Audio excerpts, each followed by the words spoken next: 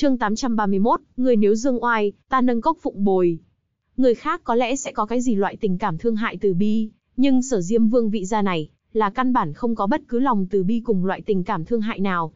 Về phần tình nghĩa huynh đệ, chính là phân ai cùng ai. Đổi làm người khác, 18 năm lưu lạc bên ngoài, một khi về nhà, tất nhiên sẽ quý trọng, quy cũ gấp bội, nhẫn nhục chịu đựng, chỉ cầu có thể nhanh chóng hòa vào gia đình của mình. Nhưng sở dương lại không nhiên, hắn tương tự là quý trọng gấp bội, nhưng tuyệt không quy cũ, lại càng không chịu nén giận. Hơn nữa hắn quý trọng gấp bội nhà mình làm cho hậu quả chính là, toàn bộ ảnh hưởng đến bình an nhà này, mặc kệ là ai, một mực diệt trừ. Nếu sở phi long hiểu biết chính xác quá khứ của sở dương, như vậy, thậm chí, ngay cả chuyện mưu tính y quán này, cũng chưa hẳn dám làm. Làm người cả ngày đùa bỡn tâm cơ âm mưu, sở phi long so với ai khác đều hiểu đáng sợ của trí kế. Mấy trăm vạn đại quân nói giết liền giết, còn để ý hai con đứa con ngươi. Đây là chuyện buồn cười cỡ nào. Đem hai đứa con đặt ở bên người sở Diêm Vương, còn muốn phụ trách cướp đoạt thành quả lao động của sở Diêm Vương. Đây tuyệt đối là một chuyện so với bảo hố lột ra càng thêm đáng sợ một vạn lần. Đạt được trả lời khẳng định thuyết phục, sở dương thân thiết cười nói, như vậy, ta liền hiểu rồi, nhị thúc yên tâm, ta sẽ tận chức tận trách làm tốt thủ tịch y sư của ta, toàn lực hiệp trợ nhị đệ, đem tử tinh hồi xuân đường chúng ta, phát dương quang đại. Tương lai tử tinh hồi xuân đường nổi tiếng bốn biển, sở ra phát triển lớn mạnh, nhị đệ khẳng định cũng theo đó nổi tiếng bốn biển, danh chấn cửu trọng thiên. Sở Phi Long nhìn chăm chú hắn sau một lúc lâu, rốt cuộc nói, trộm gian dùng mánh lới cùng thủ đoạn ngầm, gia tộc trừng phạt cũng là tương đối nghiêm trọng. Sở Dương bình thản cười, nhị thúc, người thấy ta giống loại người không để ý đại cục này sao? Đây dù sao cũng là sản nghiệp gia tộc chúng ta. Chúng ta dù sao cũng là huynh đệ máu mù tình thâm. Sở Phi Long thầm nghĩ, cái gì là giống? Ngươi căn bản chính là... Ngoài miệng hừ một tiếng nói, ngươi có thể nghĩ như vậy, không còn gì tốt hơn. Xoay người mà đi. khinh người quá đáng. Sở Phi Yên tức giận đến cả người run rẩy, không để ý Sở Nhạc Nhi khuyên can, chợt lóe người đuổi theo. Sở Dương yêu thương vuốt vuốt tóc Sở Nhạc Nhi nói, Nhạc Nhi, nơi này không cần đến ngươi nữa, ngươi đi trong phòng đọc sách đi. Sở Nhạc Nhi có chút cổ quái nhìn hắn, sắc mặt Sở Dương bình thản, tươi cười ấm áp. Thật lâu sau, Sở Nhạc Nhi kiễng chân, ở trên mặt Sở Dương khẽ hôn một cái, khoái hoạt cười cười, đại ca. Vậy ta đi xem kịch. Sở Dương nói là đọc sách, tiểu nha đầu nói lại là xem kịch. Lúc Sở Phi Yên trở về, mặt mũi bầm dập, quần áo tả tơi, trong miệng tức giận bất bình mắng to, vẻ mặt vừa là mất mát, vừa là thống khổ, vừa là thương tâm, còn có chút không thể tin được. Ngươi rốt cuộc có phải nhị ca của ta hay không? Ngươi còn là sở phi long trước kia hay không? Lòng của ngươi đâu? Sở phi long trước kia đi đâu rồi? Ngươi vì sao có thể biến thành cái bộ dáng này? Vì sao?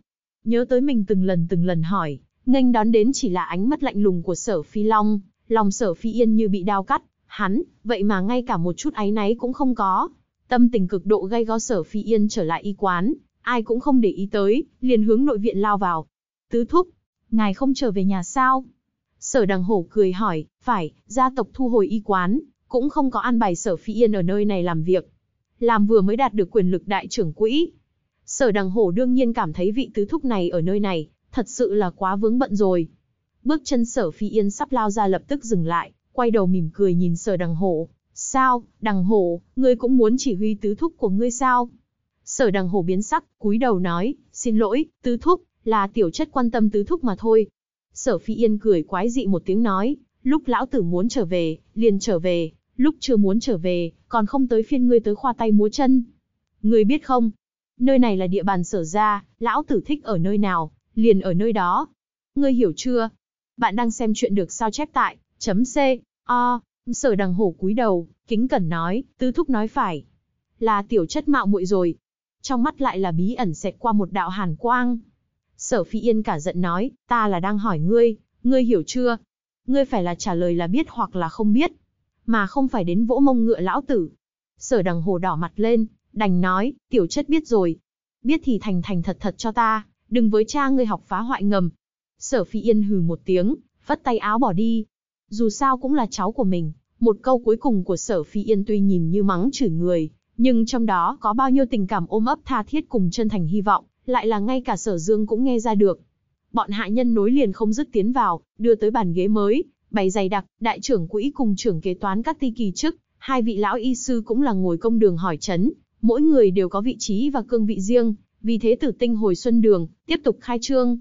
Sở Dương bình thản chịu đựng gian khổ ngồi ở ghế thái sư thủ tịch y sư của mình, vẻ mặt bình tĩnh tự nhiên, tựa như hôm nay quyền lực thay đổi như lấp bể rời non, đối với hắn căn bản không có bất cứ ảnh hưởng gì.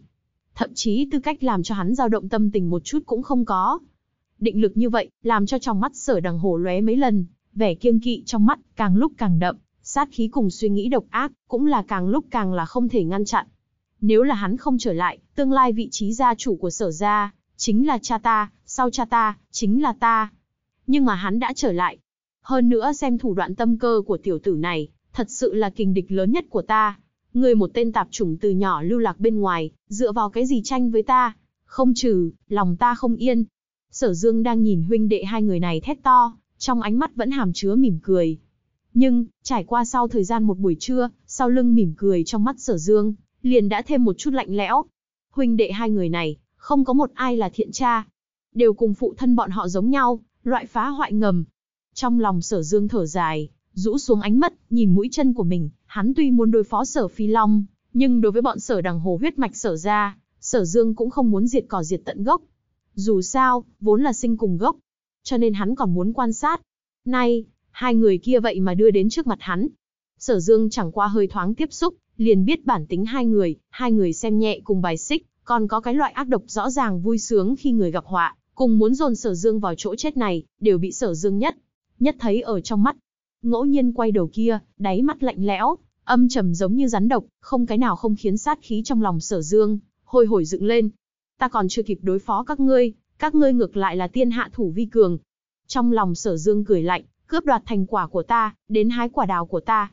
Chỉ bằng các ngươi, đệ ngũ khinh nhu cùng Mạc Thiên Cơ cũng chưa thể từ trong tay ta chiếm tiện nghi, ngươi hai con thỏ nhỏ thằng nhãi con chưa dứt sữa này, vậy mà cũng muốn đánh chủ ý. Thật sự là, ngại sống lâu rồi. Mẹ, lão tử bây giờ quá mềm rồi, là người không phải người vậy mà đều muốn đến dẫm một cước. Chờ coi đi. Ngươi không đem lão tử làm đại ca, lão tử càng không hiếm lạ ngươi làm em ta. Ngươi nếu dương oai, lão tử nâng cốc phụng bồi.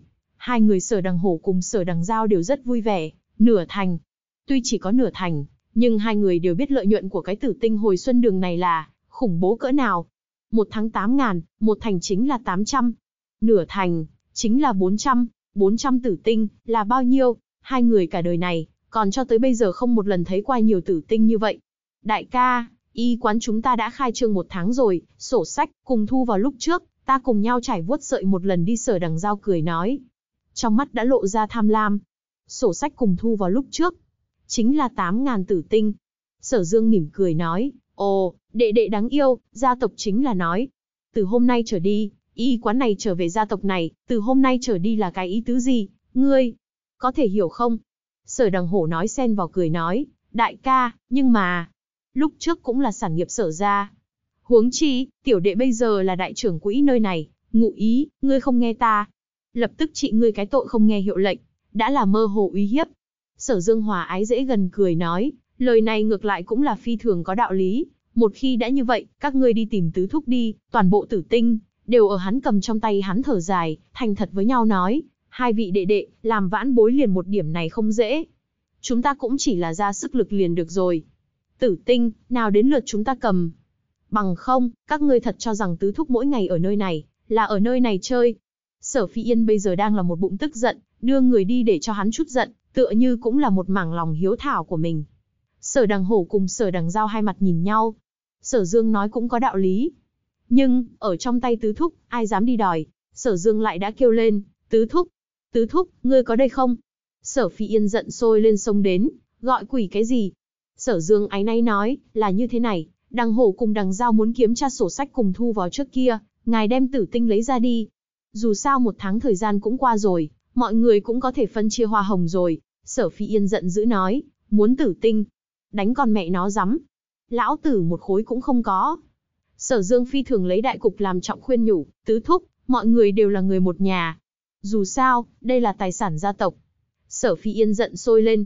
Tiểu tử ngươi muốn lợi dụng ta thì nói rõ, hắn sao, tử tinh hồi xuân đường buôn bán lời trên vạn khối tử tinh rồi, nhưng lão tử trong tay trừ 6 khối tử tinh bị chém đứt, một sợi lông chim cũng không có. Càng không biết những tử tinh này là mọc cánh tự mình bay hay là mọc chân tự mình chạy. Ngươi vậy mà bảo hai người, bọn họ đòi với ta, nhất thời liền muốn phát tác. Sở Dương thở dài một tiếng, chân thành nói, tứ thúc, lời đồn ngài năm đó chính là chịu nhục lấy đại cục làm trọng cỡ nào.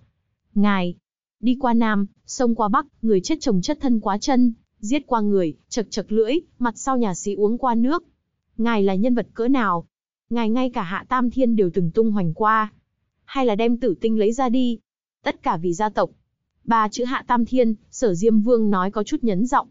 Sở phi yên nhất thời liền tóc sai lệch cái mũi. Hừ lạnh một tiếng, xeo xéo nhìn sở đằng hổ cùng sở đằng dao, đột nhiên nhếch miệng hung hăng cười. Hai người các ngươi, ai muốn đòi tử tinh, đi lấy với ta. Chương 832, khai vị ăn sáng. Vừa nghe những lời này, sở đằng hổ nhất thời lui ra phía sau một bước, thầm nghĩ, cho dù muốn tử tinh, chỉ sợ cũng phải chịu đánh một trận. Lão nhân gia phụ thân hắn vừa đem tứ thúc đánh một trận, hắn đang có tức không chỗ phát. Chuyện này, hay là để cho đằng giao đi làm tốt hơn. Sở đằng giao dù sao nhỏ một tuổi, tính toán không nhiều như vậy, hơn nữa lại bị tham lam tràn ngập trong lòng, hứng thú bừng bừng nói, ta cùng tứ thúc đi lấy. Hai người một trước một sau đi vào nội viện. Đột nhiên, phốc một tiếng vang lên, chỉ nghe đến sở phi yên quát, nhìn thấy tử tinh hay không? Tăng cường chính là bùm bùm, cùng vói sở phi yên gầm lên, ngươi nhìn thấy hay không? Nhìn thấy hay không? Tiếng khóc của sở đằng giao truyền ra. Mọi người đi qua vừa thấy, chỉ thấy sở đằng giao một gương mặt đã sưng đỏ, cả người mềm nhũn quỳ dạp trên mặt đất, khóc giống thất thanh. Sở phi yên đã không thấy bóng dáng. Hai mắt sở đằng hổ phun lửa, vội vàng xông vào, đằng dao đằng dao Ngươi không sao chứ? Tư thúc không cho tử tinh. Còn đánh ta, Bên ngoài, sở dương lạnh lùng cười, đánh ngươi. Tư thúc thật là lòng mềm yếu. Hắn thật nên là đánh chết ngươi. Vào lúc ban đêm, sở phi lãng cùng Dương Nhược Lan tự mình đến y quán, đem con trai đón về. Dương Nhược Lan tự mình xuống bếp, vì con làm một bàn món ăn ngon, nhìn sở dương ăn thùng uống vại, trong mắt đẹp tràn đầy lo lắng. Sở phi lãng nhìn mất thèm, mấy lần thò đũa, đều bị đánh trở về. Dương Dương, con không sao chứ? Thấy vẻ mặt sở dương như thường, cười tủm tỉm giống như không có việc gì, Dương Nhược Lan lo lắng hỏi. Chuyện được lấy tại Chu Yên Phun. VN có chuyện gì? Sở Dương chóp chóp mắt, tiếp tục cùng một bàn đồ án ngon chiến đấu. Mẹ là nói. Chuyện hôm nay, con, có cách nghĩ gì hay không? Dương Nhược Lan nói, bằng không, hai mẹ con chúng ta không ở sở ra nữa, chúng ta về Dương ra đi sở phi lăng nhất thòi quính lên. Mẹ nói là chuyện này. Sở Dương lau miệng, mỉm cười nói, chuyện này, lòng con tự biết, Mẹ có thế không biết thủ đoạn của con trai mẹ, yên tâm nhìn là được rồi. Thủ đoạn. Dương Nhược Lan cảm giác tâm tình thoải mái một chút nói, con có thủ đoạn gì? Con trai của mẹ, cũng không phải là một người chịu thiệt sở dương chóp chớp mất, những cái này mẹ không biết, chẳng qua, đại ca kết bái của con là biết. Đại ca kết bái. Dương Nhược Lan ngẩn ra một chút, nhất thỏi tinh ngộ lại, tuy bây giờ đang là ở trong cực độ buồn bực, nhưng cũng nhịn không được liền muốn cười điên cuồng lên. Sở phi lãng mặt đỏ tai hồng, nổi giận mắng, con thỏ nhỏ thằng nhãi con. Cha xem con là da ngứa. Không khí vốn cứng ngắc, nhất thỏi linh hoạt hẳn lên. Vợ chồng hai người bởi vì chuyện của con trai nháo khó chịu, cũng hóa giải không ít. Sở Dương lúc này mói cười lên, giữ chặt tay Dương Nhược Lan nói, mẹ, mẹ yên tâm, con trai mẹ chính là tố tông đùa bỡn âm mưu. Bọn họ choi không nổi con, về phần dòi đi. Chúng ta không thể. Sở ra hiện tại loạn trong giặc ngoài, Tất nhiên có quá nhiều người cũng rất không ra sao cả. Nhưng, chúng ta thả đánh nát rồi xây dựng lại sở ra, cũng không thể đi. Chúng ta đi, mói là làm cho người ta vừa lòng đẹp ý. Sắc mặt sở phi lăng trắng nhợt, đem sở ra đánh nát rồi xây dựng lại. Khóe miệng sở dương hàm chứa mỉm cười an ổn, chậm rãi gật đầu. Vợ chồng sở phi lăng nhất thời không còn lòi nào. Liền ngay cả bây giờ phấn khích như Dương Nhược Lan, cũng chưa bao giờ nghĩ tới, đem toàn bộ sở ra. Đánh nát, nhưng Sở Dương lại là rõ ràng nói ra những lời này. Sở Dương một bên cười, một bên cân nhắc trong lòng. Sở Phi Long, thật là không thể khinh thường, mình trăm phương nghìn kế mặt lau sạch liên hệ của mình cùng đám người xa tâm lượng, chỉ vì là một cái bẫy, Sở Phi Long vẫn là cẩn thận chưa bước vào. Hơn nữa, vứt bỏ tính toán sử dụng vũ lực đến đối phó mình, sửa làm đi lối tắt riêng. Mà hắn đi một con đường này, đúng là trước mắt đối với mình mà nói, một sự kiện làm phức tạp nhất, cũng là đối phó mình, thủ đoạn hữu hiệu nhất, lợi dụng lực lượng gia tộc, dùng toàn bộ gia tộc đến ép ngươi. Mặc kệ hắn từ này bất cứ một phương diện nào khác công kích, sở dương đều có thể đủ dùng thủ đoạn cường ngạnh nhất, thế như trẻ che giết ra. Nhưng hắn dùng một chiêu này, lại làm cho sở dương chỉ có thể đủ từ từ mưu tính, không thể quá khích. Chỉ cần một cái thủ đoạn quá khích của mình, có lẽ chính là làm sở ra sụp đổ, hoặc là chính là làm cho sở ra hoàn toàn suy sụp, còn có một cái khả năng chính là, mình một lần nữa bị đuổi khỏi gia tộc, Sở Phi Long có lẽ có thể không thèm để ý, nhưng Sở Dương không thể không để ý. Ở bên ngoài như bèo không dễ qua 18 năm, thật vất vả có nhà, tự tay hủy diệt chăng phải đáng tiếc. Chỉ là cứ như vậy. Ngươi liền cho rằng đánh trúng bảy tấc của ta sao? Khóe miệng sở dương như mang gió xuân mỉm cười, trong lòng lại là cười lạnh không thôi. Chúng ta chậm rãi choi, bồn thiếu ra. Sẽ cùng các ngươi choi tận hứng. Ngày mai, trước cho các ngươi đến một món ăn sáng khai vị, về phần đại tiệc chính thức. Chờ ta chuẩn bị một chút nói sau. Thâm trầm trong bóng tối, sở dương để cho kiếm linh nhập vào, gần như dưới chợt lóe, liền biến mất ở trong phòng của mình, không tiếng động. Bên ngoài, mấy vị cao thủ sở phi long phái tới giám thị tiểu viện, căn bản cái gì cũng không nhìn thấy. Về phần nội gian an bài ở trong tiểu viện của sở phi lãng, lại không chỗ nào phát hiện lấy sở dương nhãn nhụi cùng tu vi của kiếm linh. Nếu để cho những người này dám thị đến, vậy liền có thể thực. Chạy nhanh mua khối đậu hũ đâm đầu chết cho rồi đi. Không quá lâu, trong chấp pháp đường, liền truyền ra một tiếng rít gào tức giận của sa tâm lượng. Trong một tiếng rít gào này, ẩn chứa bao nhiêu tức giận, bao nhiêu buồn bực, bao nhiêu sát ý gần như muốn ăn thịt người, thật sự là khó có thể hình dung. Mấy vị chấp pháp giả gác cửa chấp pháp đường, không hẹn mà cùng đánh cái dùng minh, lại sao rồi, bọn họ lại không biết, sở dương chỉ là kể khổ, liền đạt được đãi ngộ như vậy. Lão ca, tiểu đệ không có cách nào khác, bị ức hiếp như vậy, nếu là... Tiểu đệ cũng chỉ có đi xa tha hương, tránh đi cái noi thị phi này. Những lời này làm cho xa tâm lượng hoàn toàn nóng nảy rồi, thuốc khác đều đã có hết rồi, liền còn lại hai vị linh dược trên đường nữa, chỉ cần vừa đến, Minh cùng Tần Bảo Thiện liền không sao nữa, hơn nữa tổng chấp pháp đại nhân cũng đang hướng noi này tói rồi. Một công lao to lớn đang chờ hai người Minh. Nếu là lúc này, sở dương ngược lại bị nội bộ của sở thị gia tộc bài trừ đi rồi. Vậy chẳng phải tất cả tất cả đều bị nhỡ. Tổng chấp pháp đại nhân sau khi bị lừa gạt trừng phạt còn ở tiếp theo, mấu chốt là mạng già của Minh, muốn không giữ được nữa. Giờ khắc này, hận ý của sa tâm lượng đối với sở phi long, quả thật là dốc nước tam giang ngũ hồ, cũng không cách nào rửa sạch. Nếu là sở phi long giờ phút này, ở trước mặt hắn, sa tâm lượng tuyệt đối có thể một miếng nuốt sống hắn. Cái này, như thế, như thế, như thế. Sở dương cao mày, gõ cái bàn. Sa tâm lượng liên tục gật đầu, vẻ mặt nghiêm túc ngưng trọng. Ngày thứ hai, sở thần y rất sớm liền đi đi làm rồi, chiếm cứ ở trên ghế thủ tịch y sư, liền bắt đầu tác uy tác phúc hẳn lên. Một chân phành một tiếng đặt ở trên bàn vị lão đại phu bên phải kia, đối với thầy thuốc mắt tam giác này quát, đi, đến thay trả cho ta. Ngươi, lão nhân kia trừng mắt, tức giận đến đầy mặt đỏ bừng. Lão tử là thủ tịch y sư. Sở dương liếc liếc nhìn hắn, sao, không muốn kiếm tử tinh nữa. Nói cho các ngươi, các ngươi hầu hạ ta không tốt, lão tử tâm tĩnh khó chịu. Tâm tĩnh lão tử chỉ cần khó chịu, tử tinh, đó tính cái trò chơi gì? Lão tử một mực không biết. Lão đầu nhi nhất thỏi trợn mắt há hốc mồm. Ai gặp qua đại thiếu gia miệng lưu manh như thế? Một bên, đại trưởng quỹ sở đằng hổ vội vàng nói, Cát lão, người thân là thầy thuốc, vì sao không nghe lời thủ tịch y sư? Cần biết lớn bé có thứ tự, tôn ti có khác biệt. Nói xong đưa cái ánh mắt qua. Bây giờ còn cần nhờ sở dương đến kiếm tử tinh, tạm thời là không thể đắc tội hắn. Chỉ cần hai người các ngươi không chịu thua kém chút, đem bản lũy hát của hắn học đến tay, đối phó một tên phế tài không có tu vi trong người, còn không phải dễ như trở bàn tay. Cát lão tuy hiểu đạo lý này, nhưng vẫn bị tức đến một đôi tay giống như móng vuốt gà run rẩy. Ở sở ra làm nghề y nửa đời rồi, ai dám hô quát hắn như thế? Lại càng không cần nói là pha trà cho người, đây thật là cuộc đòi lần đầu gặp. Đành phải run rẩy đứng dậy, đi pha một chén trà, thật mạnh hướng trên bàn đặt một cái, nói, đại thiếu, mời uống trà. Sở Dương liếc mắt một cái, vỗ cái bàn, nhất thời giận tím mặt, vô liêm sỉ. Ngươi đem thiếu gia ta coi như người nào? Lúc này trà các ngươi uống, chỉ là cho heo ăn, thân phận bốn thiếu gia tôn quý cỡ nào? Ngươi vậy mà pha loại trà này cho ta? Người lão cầu này có phải không muốn làm nữa hay không? Cát lão nhất thỏi tức giận đến thẳng mắt trợn trắng, run rẩy một câu cũng nói không nên lời, một ngón tay run run rẩy rẩy chỉ vào sở dương, hai tròng mắt gần như muốn lồi ra, ngươi, ngươi, sao rồi, Sở Dương trừng mắt, ngươi lão cẩu này còn không phục. Ngươi đừng xem ngươi một đống tuổi như vậy đã cho rằng ta liền không chửi được ngươi. Ngươi còn mẹ nó cũng không phải con ta. Nhìn một cái ngươi bộ dạng này. Còn có chút quy củ sao? Ở sở ra chúng ta làm chó cả đòi, sao rồi? Hôm nay vậy mà muốn cắn chủ nhân rồi. Thật thật là lớn cái gan chó của ngươi. Cát lão run run rẩy rẩy lui ra phía sau hai bước, che ngực, run giọng nói, tức chết lão phu rồi, tức chết lão phu rồi, tức chết ngươi rồi ngươi sao còn không chết? Sở Dương chen qua, nắm cầm hắn nâng lên, cười tà, đừng cho rằng ngươi có hai vị thiếu chủ bảo vệ ngươi, nói cho ngươi, thiên vương lão tử bảo vệ ngươi, Ngươi chỉ cần học không hiểu thủ đoạn kiếm tử tinh của lão tử, ngươi liền vĩnh viễn chỉ là một con chó. Hiểu không? Chó già. Sắc mặt sở đằng hổ phát tím, từ quầy sau đứng dậy, nói, đại ca, cần gì mà cùng một hạ nhân tức giận. Sở dương ha ha nói, nói không sai, một tên hạ nhân ti tiện mà thôi. Cát lão nhất thỏi run rẩy càng lợi hại, môi cũng phát ra tiếng, run rẩy gần như đứng không được.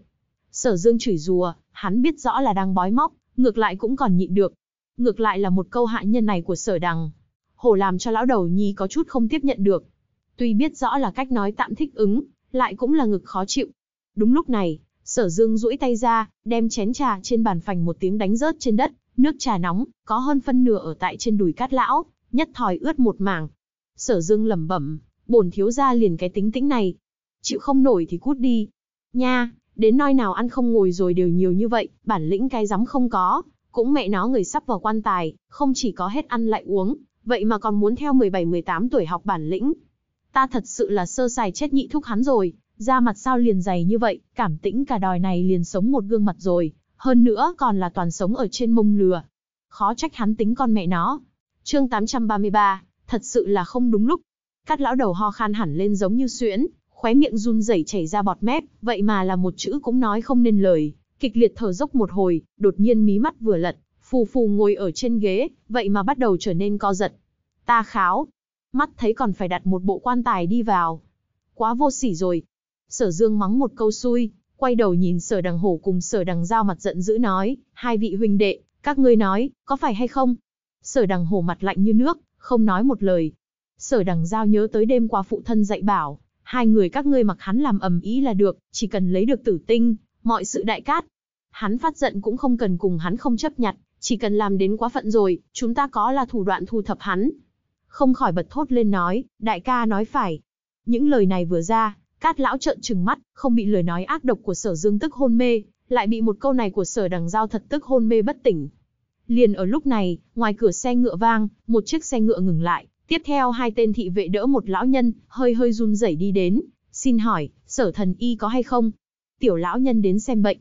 Sở đằng hổ cùng sở đằng giao nhìn nhau, nhất thời hưng phấn hẳn lên, tử tinh tới rồi, bất chấp đi đỡ cát lão, song song nghênh đón, nói, lão nhân ra bệnh chứng gì, vị này liền là sở thần y, nói xong chỉ chỉ sở dương. Lão đầu nhi nhất thời hai mắt sáng lên, một nắm cầm lấy tay sở dương, sở thần y, thật là tuổi trẻ đầy hứa hẹn. Lão hủ tống vạn tráng, chính là cung phụng tống gia bình xa lĩnh chúng ta. Những năm gần đây, vết thương cũ lại là tra tấn lão hủ quá. Sở dương ấm áp cười nói, lão nhân gia mời ngồi, nói vậy lão nhân gia cũng biết, quy củ tử tinh hồi xuân đường này của ta. Tống vạn trắng liên tục gật đầu, biết biết, tử tinh lão hủ đã chuẩn bị xong rồi. Tốt sở dương mỉm cười một chút, vươn hai ngón tay, đặt lên uyển mạch hắn. Một bộ dáng tin tưởng mười phần. Sở đằng hồ sở đằng giao nhìn nhau, cùng nhìn thấy đắc ý trong mắt đối phương. Một vị y sư khác sở phi long phái tới, cũng lén lút chen lại đây, nhìn sở dương trần bệnh. Hy vọng âm thầm có thể học mấy chiêu. Sở dương híp mắt, hai ngón tay làm bộ dạng đặt, thật lâu sau, đột nhiên lông mày nhảy dựng, tiếp theo nhướng mày, tiếp theo sắc mặt liền trầm xuống. Chuyện được lấy tại Chu Yên Phun. Vên buông ngón tay, sắc mặt trầm trọng nhìn Tống Vạn Trắng nói, lão trượng thương thế này, hẳn là vết thương cũ ở năm 60 năm trước liền có hả? Hai mắt Tống Vạn Trắng mở lớn, cả kinh nói, sở thần y quả nhiên không sai. Hơn nữa lúc ấy là có một vị ít nhất là hoàng tọa nhị phẩm cao thủ, đánh ngươi một trưởng. Ừm, ta xem xem, còn là độc trưởng, ừm, ta cẩn thận cảm giác một chút nữa. Hơn nữa là hoàng hoa độc trưởng. Một trưởng này, nếu là ta phòng trừng không sai mà nói, hẳn là đánh vào trên vai ngươi. Không phải vị trí yếu hại. Sở dương thần thần thao thao nói. Tống vạn tráng càng ngạc nhiên vui mừng. Đúng đúng, đúng hết. Sở thần y quả nhiên là thần hồ kỳ kỹ. Ai? Sở dương thở dài một tiếng, lão trượng, tu vi ngươi, chính là từ 10 năm trước bắt đầu suy yếu hả? Tống vạn trắng liên tục gật đầu, thần thái càng cung kính, thần y tuệ nhãn như đuốc. Sở Dương hít một hơi, nói, lão trượng, ta thì không biết. Người năm 60 năm trước liền trúng loại trường pháp ác độc này, hơn. Nữa đã áp chế nhiều năm như vậy, vì sao ở 10 năm trước liền không đè ép nữa? Tống vạn trắng thở dài, lão hũ 10 năm trước, liền 95 tuổi rồi. Hơn nữa, thể lực từ từ chống đỡ hết nổi. Một lời khó nói hết. Sở Dương tiếc hận lắc đầu. Trong lòng Tống Vạn Trắng sáng ngời, thấp thỏm nói, sở thần y, thương thế này của ta, còn có hy vọng không? Sở Dương thở dài thật dài thật dài, lão trượng, đáng tiếc nha đáng tiếc, ngươi tới chậm rồi a. Tống Vạn Trắng kêu sợ hãi một tiếng. Lão trượng nếu là 10 năm trước đến, ta còn có thể chữa khỏi cho ngươi. Sở Dương lắc đầu thở dài, chỉ tiếc, 10 năm gần đây, công lực ngươi suy yếu, không áp chế được độc tính còn sót lại, đã độc vào xương tủy, đan điền hư hỏng, kinh mạch yên lặng. Tại hạ, hổ thẹn, một phòng người ngây ngốc như gà gỗ. Ai cũng không nghĩ đến, người này vô luận nơi nào đều nói đạo lý rõ ràng, đến về sau vậy mà đến một câu, ta không trị được. Tống vạn trắng mất hồn mất vía đi rồi. Trước khi đi, sở dương miễn phí tặng hắn một cái phương pháp rèn luyện đơn giản, lời nói, nếu là lấy cái này trị liệu, độc là không trừ được gốc, nhưng nói như thế nào cũng có thể làm cho thân thể thoải mái một chút. Nhìn thấy tống vạn trắng này rời đi, sở dương thở dài thở ngắn, vẻ mặt hổ thẹn, lòng tràn đầy áy náy, ai, lương y như từ mẫu. Mắt thấy người khác có bệnh, lại không trị được. Thật sự là, ai, loại cảm giác vô lực này, loại hổ thẹn này, thật là làm cho ta phát điên rồi. Sở đằng hổ cùng sở đằng giao hai mặt nhìn nhau, không kiếm được tử tinh không nói, còn phải tiến lên đi lời dịu dàng an ủi. Sở dương ra sức tự trách, hai người liền một bên buồn bực muốn giết người, một bên an ủi. Hai người khẳng định không biết, sở dương cho cái phương pháp thoạt nhìn cực kỳ đơn giản kia. Lại là phương pháp trị liệu tốt nhất kiếm linh cho ra. Chỉ cần tống vạn trắng này thật dựa theo biện pháp này, không quá một năm, có thể phát hiện thân thể hoàn toàn khôi phục rồi. Hưởng thụ hai tên quỷ đầu cóc mặt này ăn ủi, sở dương thở dài không thôi, trong mắt có lệ, trời xanh vô đạo, chúng sinh đều khổ, thương thế nhân ta, gian nan khổ cực thật nhiều. Thật sự là phong phạm quân tử đại nhân đại nghĩa, loại phong độ này, loại khẩu khí này, tuyệt đối có thể làm cho các đại hiệp khách này xấu hổ chết. Tiếp theo lại tới mấy bệnh nhân nữa, sở dương vẫn là chuẩn xác vạch chứng bệnh, sau đó thật có lỗi lắc đầu, thật sự là bất lực. Ai, hổ thẹn. Nếu không, ngài nếu là tìm được loại nào đó trong cửu đại kỳ dược, có lẽ còn có hy vọng. Hổ thẹn, thật có lỗi, không tiễn. Người đi rồi, theo thường lệ cảm thán một phen. Gân xanh trên mặt sở đằng hồ sở đằng dao vọt thẳng ra, ánh mắt như muốn ăn thịt người. Đến buổi chiều, vẫn như cũ như thế. Hôm nay tìm đến sở thần y xem bệnh xem vết thương, vậy mà tất cả đều là bệnh nan y. Sở thần y một cái cũng không trị được. Đến về sau, sở đằng hổ huynh đệ cũng không đi an ủi hắn nữa, ở một bên thở ơ lạnh nhạt. Nhưng sở thần y vẫn như cũ đang chữ tĩnh, ô hô. Ai tai? Đáng thương một thân y thuật của ta, vốn muốn tạo phúc thiên hạ, ân huệ tỏa khắp mọi chúng sinh, nề hà trời xanh vô đạo, đại địa vô tình, sinh lão bệnh tử, trung quy không thế xoay chuyển. Ta một tấm lòng từ bi, đầy cõi lòng loại tĩnh cảm cửu thế, cũng là bó tay không có cách, trong thiên hạ, còn có chuyện so với cái này bi ai hơn sao?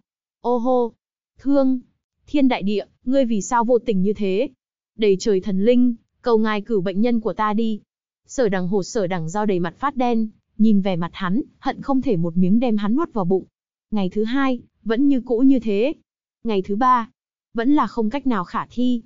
Mỗi một bệnh nhân, sở thần y liền bắt đầu cảm thán, ô hô, ta rất vô lực. Như thế lại qua ba ngày.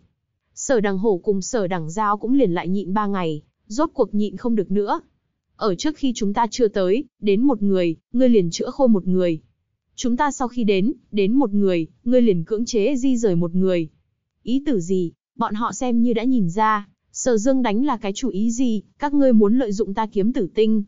Nghĩ đến hay, thà rằng tiểu gia ta không kiếm, cũng không cho các ngươi lợi dụng, dù sao trong tay ta còn có 8.000 tử tinh. Đại ca, ngươi rốt cuộc có ý tử gì? Sở đằng hổ treo ngược mắt, cả giận nói. Cái gì? Có ý tứ gì? Sở dương hỏi. Ta thì không tin, những bệnh này, ngươi một cái cũng không trị được. Sở đằng hố tức giận bừng bừng, đem chúng ta làm kẻ ngốc đùa giỡn. Thật lớn mật. Ta là thực trị không khôi. Không có cái bản lĩnh kia. Sở dương mỉm cười, nếu không, ngươi bảo hai vị y sư đức cao vọng trọng này trị một chút. Ai, thật ra ngươi cũng rõ ràng, ta trẻ tuổi như vậy, lại có thế có cái y thuật cao siêu gì. Chẳng qua mấy ngày hôm trước đánh giám đánh lửa, trùng họp. Sở đẳng giao gầm rú lên, nhưng ngươi trung quy không thể bây giờ một cái cũng không khéo đụng chứ. Sở dương buông buông tay, các ngươi cũng thấy được, chính là một cái cũng không đụng. Các ngươi xem ta hiện tại áy náy bao nhiêu. Bất lực cỡ nào. Mất mặt cỡ nào. Sắc mặt sở đằng hổ phát xanh, nghĩ muốn tức giận, lại ép xuống, nặn ra một cái khuôn mặt tươi cười nói, đại ca. Ta biết trong lòng ngài không thoải mái, nhưng là... Chính theo như lời ngài, chúng ta là một cái gia tộc, tất cả, đều là vì gia tộc. Chúng ta thân là người trong thế gia, chỉ có gia tộc lớn mạnh rồi, chúng ta mới có thể đủ. Đúng. Sở Dương nghiêm túc nói, những lời này, thật là chân lý. Chúng ta thân là người sở gia, chết là hồn sở gia, vì lợi ích của gia tộc, ngay cả muốn chúng ta lên núi đao xuống biển lửa, đó cũng là muôn lần chết không chối từ. Ta rất vui mừng các ngươi có thể có giác ngộ cao như vậy, làm con em sở gia, các ngươi có thể nghĩ như vậy, thực rất không tệ. Cố lên. Sở Dương chân thành nói. Sở đằng hổ cùng sở đằng giao tức giận đến sắc mặt biến thành màu đen, gắt gao nhìn người vô sỉ này, răng nanh cắn vang kẻo kẹt, nắm tay nắm rất chặt. Hai người đều là vứt bỏ ích lợi thật lớn, mói từ cương vị quan trọng khác đi lên đến noi này. Không nghĩ tới người này vậy mà vô sỉ như thế, vậy mà không tiếc dùng phương pháp đồng quy vu tận, cũng muốn làm như vậy. Nếu sớm biết như thế, hai người cần gì bỏ qua ích lợi thật lớn đi đến noi này. Một bên, cát lão âm dương quái khí nói, lợi ích của gia tộc, tự nhiên là mọi người đều coi trọng, chẳng qua người mà ta từ nhỏ lưu lạc bên ngoài, lại không nhất định rồi. Lão cẩu đáng chết. Lão nô tài đáng chết. Sở dương giận dữ, xoay người chính là một cái tát, bốp một tiếng vô cùng giòn vang dội quát, ngươi thân là nô tài của sở gia, vậy mà dám nhục mạ công tử của sở gia. Ta đại biểu gia tộc trừng phạt ngươi. Ta đại biểu gia pháp đánh ngươi. Ta đại biểu gia chủ xử lý ngươi. Ta đại biểu chấp pháp giả dạy dỗ ngươi. Ta đại biểu nhị thúc ta đánh roi răng ngươi, đá gãy chân ngươi, thu đầu lưỡi ngươi, đập nát miệng ngươi. Vừa mắng, vừa bùm bùm điên cuồng đánh không ngừng. Đáng thương cát lão mặc dù có chút công phu tu vi, nhưng mấy năm nay cũng hoang phế rồi, lại nói. Chưa từng có gặp được như thế. Càng thêm không nghĩ đến vị đại công tử này, vậy mà có thể lưu manh đột nhiên ra tay như thế, chỉ chúng năm sáu lần chính là miệng phun máu tơi hôn mê bất tỉnh. Sở dương thở hồng hộc quyền đấm cước đá, rốt cuộc dừng tay, tựa như mệt không nhẹ, hai tay chống đỡ đầu gối, thở phì phò, tức giận đối với sở đằng hồ sở đằng giao nói, đến phiên các ngươi, nhanh lên đi dạy dỗ lão cẩu này, còn có chút vương pháp sao? Còn có chút gia quy sao? Vậy mà dám mắng chúng ta? Thật là phản con mẹ nó rồi. Chương 834, chuyện này thật là kỳ quái. Sở đằng hổ hừ một cái thật mạnh, rốt cuộc không kiềm chế được, cả giận nói, sở dương. Ngươi không nên quá đáng. Sở dương ngạc nhiên, ta quá phận. Đột nhiên nhảy dựng lên, giận dữ nói, vậy mà là ta quá phận. Ta quá phận nơi nào? Ta cẩn trọng vì gia tộc, ta cúc cung tận tụy xem bệnh cửu người, ta nơi nào quá phận.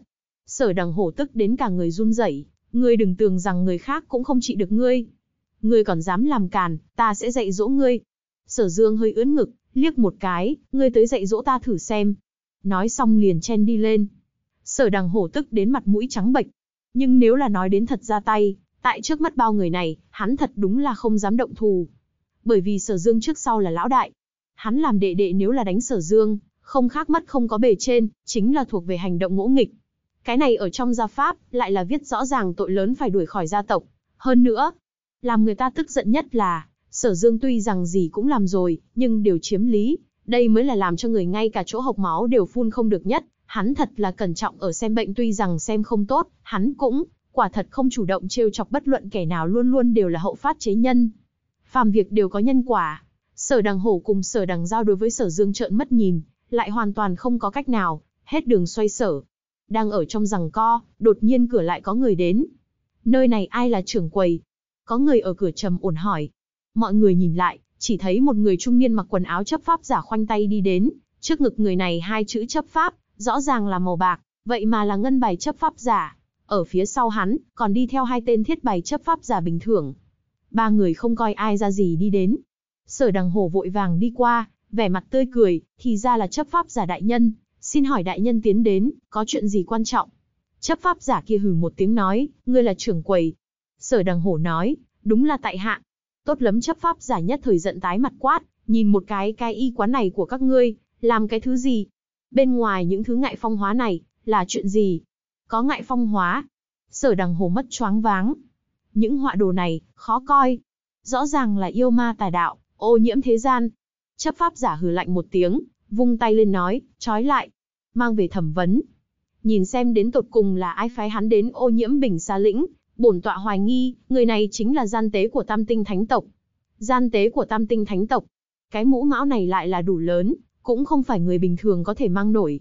Sở đằng hổ nhất thời mất choáng váng, liên tục lui về phía sau, đại nhân, đại nhân, tiểu nhân oan uổng. Đột nhiên nhớ tới, loáng cái đem sở dương đẩy ra, vội vàng không ngừng nói, đại nhân, đây đều là hắn làm. Hắn là trưởng quầy. Chấp pháp giả kia hỏi. Sở đằng hồ mỡ to con mắt, ta ta ta. Chúng ta muốn tìm chỉ có trưởng quầy. Chỉ có người phụ trách. Vị chấp pháp giả này hừ một tiếng nói, Hắn chính là một tên làm việc, chúng ta tìm hắn làm cái gì? Sở Dương tiến lên cầu tĩnh, chấp pháp giã đại nhân, vị này là đệ đệ của ta, trẻ người non dạ, mặc dù có sai, nhưng cũng là khụ khụ, đáng tha thứ. Chấp pháp giả lật mắt ra, thiết diện vô tư nói, ta chỉ biết luật pháp vô tĩnh, cũng không biết. Tuổi nhỏ có thể tha thứ. Các ngươi có lời, đi cùng thống lĩnh đại nhân nói đi. Dần đi. Sớm có hai chấp pháp giả như sói như hổ sông lên, đem sở đằng hổ trói gô ở trên mặt đất, động tác thuần thục vô cùng. Sở đằng hổ một bên dãy ruộng, một bên bi phẫn kêu lên, vì sao mấy ngày trước đây lúc hắn ở nơi này các ngươi không đến cha? Nay ta vừa tiếp nhận, ngươi liền đến cha. Các ngươi rõ ràng là thông đồng thành gian. Các ngươi thân là chấp pháp giả, vậy mà... Chấp pháp giả một cước đạp lên mắng, chấp pháp giả chúng ta muốn tra khi nào, nên tra thời điểm nào. Chỉ bằng ngươi, cũng nói cái gì nên hay không nên. Ngươi vu tội chấp pháp giả, tội thêm một bậc. Hành động làm nhục chấp pháp, tội thêm ba bậc. Sở đằng hổ đau đến nước mắt cũng chảy ra, nói, đằng giao, đằng giao. Mau trở về thông báo phụ thân, bảo hắn cửu ta. Sở đằng giao nhanh chân liền chạy. Con mắt của vị chấp pháp giả kia sáng lên, vậy mà còn có con cá lọt lưới. Đem tên đồng đảng này bắt cùng. duỗi tay ra, liền đem thân mình sở đằng giao đã chạy đến cửa đè lại, bốp một tiếng ngã trên mặt đất, một đoạn dây thừng liền buộc lên cố, lập tức lại là một cái trói gô, một bạt tay vung lên nói, còn có đồng lõa hay không? Sở đằng giao bi phẫn nhìn hắn, cấn răng một câu cũng không nói. Chấp pháp giả chen lỗ tai đến, cái gì? Còn có hai. Hai lão nhân kia. Ta kháo. Ta nói hai người các ngươi cũng không có tâm cơ gây trở ngại phong hóa, vậy mà là hai lão nhân, trách không được há mồm ngậm miệng trắng dương. Bắt. Hai người cát lão trợn mất một cái, hôn mê bất tỉnh. Ba vị chấp pháp giả áp giải bốn người một đường trở về, trước khi đi, vậy mà không nói cái lời trinh sửa gì, biến quảng cáo có ngại phong hóa kia, vẫn như cũ đứng sừng sững, vô cùng phong cách. Việc lớn không dễ. Sở dương thần y vỗ mông đi ra, nhìn bóng người đi xa, vẻ mặt cực kỳ kinh hoàng, quay đầu lại lưu loát dựng ván cửa lên, vung chân hướng sở ra chạy tới. Sở ra, sở phi long đang ở trên quảng trường giám sát võ sĩ gia tộc luyện công, một bên trầm tư, sở dương mấy ngày nay lãn công tiêu cực, nên dùng phương pháp gì mới có thể đủ làm cho hắn không dám làm như vậy. Nghĩ nghĩ, lại không có biện pháp tốt. Nhíu mày, thầm nghĩ, chẳng lẽ liền tiếp tục như vậy hay sao? Đang trầm tư, đột nhiên một thanh âm vang lên to từ cửa lớn truyền vào, không xong rồi, không xong rồi. Hai đệ đệ bị chấp pháp giả bất đi rồi. Bọn họ phạm vào tội lớn. Đúng là thanh âm của sở dương. Trong đại sảnh sở ra, sở lão gia tử đen mặt, ngồi ở chính phía trên. Phía dưới, toàn thể nhân viên quan trọng của sở gia, đều đang ngồi. Chính giữa, sở dương đang lo lắng kể ra sự tình trải qua. Lời nói như thế như thế, như thế như thế, sở đằng hổ cùng sở đằng giao liền bị chấp pháp giả bắt đi rồi. Mình kiệt lực muốn bảo vệ hai người, nhưng chấp pháp giả thiết diện vô tư, vậy mà không có bất cứ hiệu quả gì, dưới sự bất đắc dĩ, đành phải về đến gia tộc đến xin giúp đỡ. Ba người sở phi lãng dương nhược lan sở phi yên vẻ mặt quái dị. Sở phi long tại chỗ liền tức sai lệch cái mũi. Sở dương rất không dễ dàng kể ra xong, nhìn nhìn sắc mặt mọi người, đột nhiên bước dài một cái đến trước mặt sở phi long, lớn tiếng nôn nóng nói, nhị thúc, ngài mau nghĩ nghĩ biện pháp, cứu cứu đằng hồ cùng đằng giao, thủ đoạn của chấp pháp giả lần trước ta cũng gặp phải rồi, sợ tới mức ta mấy ngày mấy đêm không ngủ được, không ăn cơm được, nếu là hai người bọn họ ở bên trong ngốc, lâu, có thể là sẽ chịu tra tấn rất lớn. Sở Dương vẻ mặt anh em tình thâm, gần như than thở khóc lóc, nhị thúc, bọn họ lại là con một của ngài, ngài không thể buông tay mặc kệ đó. Sắc mặt sở phi long như đáy nồi, cực kỳ coi, hận không thể đem ra hỏa này chết ngay lập tức dưới trường, tên khốn kiếp này, rõ ràng là ngươi hãm hại con ta, vậy mà còn tại trước mặt ta làm ra vẻ, ta nghĩ biện pháp. Ta mẹ nó có thể có biện pháp gì? Cái này vừa thấy chính là âm mưu của ngươi, đem con ta bắt lại, sau đó bỏ ta đi đòi người. Ta dám đánh cược, chỉ cần ta đến chấp pháp đường, xác định vững chắc sẽ bị trở thành đồng mưu giam lại. Cái này con mẹ nó không phải đưa hàng tới cửa sao. Chỉ cần có ngươi từ trong đó làm khó dễ, chỉ sợ liền xem như gia gia của ngươi đi, cũng là không chút tác dụng, ta còn nghĩ biện pháp cái rắm. Trong đại sảnh các đại quản sự khác một đám hai mặt nhìn nhau, vẻ mặt phấn khích vô cùng. Có tội ngại phong hóa. Chấp pháp giả khi nào lại nghiên cứu ra một cái tội danh mới như vậy? Trước kia cho tới bây giờ chưa nghe nói qua. Dùng lý do này ngang nhiên bắt hai vị công tử sở ra một trong tam đại gia tộc, quả thực là kéo căng vô cùng. Một đại quản sự trong đó ho khan một tiếng, nói, sở dương thiếu gia, ngài là nói. Lý do chấp pháp giả bắt đi hai vị tiểu thiếu gia, chính là có ngại phong hóa, thật không? Sở Dương nói, phải, chấp pháp giả chính là nói như vậy. Vị đại quản sự này hừ lạnh một tiếng nói, Vậy nếu là nói như vậy, ta liền không hiểu, sở dương thiếu gia ngài ở cái tử tinh hồi xuân đường này lại là, trong thời gian không hề ngắn, hơn nữa trên đồ họa kia, cũng là sở dương thiếu gia ngài tự tay vẽ. Cho dù là có ngại phong hóa, nhưng mà, trước đó, chấp pháp giả lại cũng không nói qua cái gì chứ. Sở dương sững sờ nói, phải nha, trước đó cái gì cũng chưa nói qua, chuyện này thật là kỳ quái. Sắc mặt vị đại quản sự kia thoáng đen nói, vậy, tại hạ liền hỏi một câu, vì sao chấp pháp giả trước kia mặc kệ những cái này, mà hai vị thiếu thiếu gia mới đi vài ngày, chấp pháp giả liền tới cửa. Trong đó rất có kỳ quái, mong rằng sở dương thiếu gia giải thích nghi hoặc cho chúng ta. Những lời này đã nói là khí thế bức người, trong mắt ánh mắt sắc bén nhìn sở dương. Mấy vị quản sự khác phụ họa theo đuôi, cùng đưa ra dị nghị. Nhất thời toàn bộ tiêu điểm của đại sảnh, lại tập trung ở trên người sở dương. Phải, sở dương thiếu gia hơn một tháng cũng không sao, hai vị thiếu gia vừa đi liền bị bất, hơn nữa sở dương thiếu gia vị đầu sỏ gây nên này cũng chưa bất đi, trong đó lại là quá kỳ quái rồi. Sở dương thiếu gia nghĩ hẳn sẽ có cái cách nói gì chứ. Phải phải, ta thấy trong đó có âm mưu. Trước mắt bao người, sở dương vẻ mặt buồn bực. Ngốc ngốc gãi gãi đầu nói, phải phải, các ngươi nói quá có đạo lý rồi, thật ra lúc trước ta cũng đang kỳ quái, vì sao có thể xảy ra sự tình bậc này. Cái này cũng quá không có lý do gì đi. Các ngươi nói những lời này, quả thật là nói đến trong lòng ta. Mọi người nhất thời không còn lời nào, ánh mắt nhìn sở dương, càng thêm có chút trở nên buồn cười. Vị đại quản sự kia lạnh lùng nói, chẳng lẽ sở dương thiếu ra đối với chuyện này, liền thật tuyệt không biết. Chấp pháp giả hành động kỳ quái như thế, có thể nói là từ trước đến nay không có, nhưng mà từ khi sở dương thiếu ra ngài tới, liền tất cả đều đã xảy ra. Cái này không thể không làm cho chúng ta suy nghĩ nhiều một chút. Sở dương sừng sốt nói, ta không, hiểu ý tứ ngươi. Vị đại quản sự kia cười lạnh, ý tứ của ta rất đơn giản, hay không là sở dương thiếu gia ngài cùng chấp pháp giả cấu kết. Hãm hại hai vị thiếu gia, đối với ngươi mà nói, lại là không hề thiếu chỗ tốt. Sở dương sừng sốt một hồi, mới rốt cuộc giận dữ hẳn lên, hắn tức giận mặt cũng đỏ, ủy khuất giận sôi lên, cả giận nói, vị đại quản sự này, những lời này của ngươi là nói như thế nào? Ngươi đây là ý tứ gì? Ta là cái loại người này sao? Ngươi không chỉ có nói xấu ta, vậy mà còn nói xấu chấp pháp giả. Là nhịn quen cũng không thể nhịn, ngươi nói như vậy cũng có thể, lấy ra chứng cớ cho ta. Ngươi nếu là không lấy ra chứng cớ, vậy ta liền đến chấp pháp giả nơi đó cáo ngươi phi báng.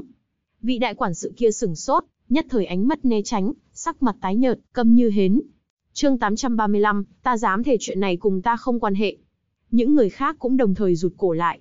Còn mẹ nó, tiểu tử này vô sỉ xem như là tới nơi tới chốn.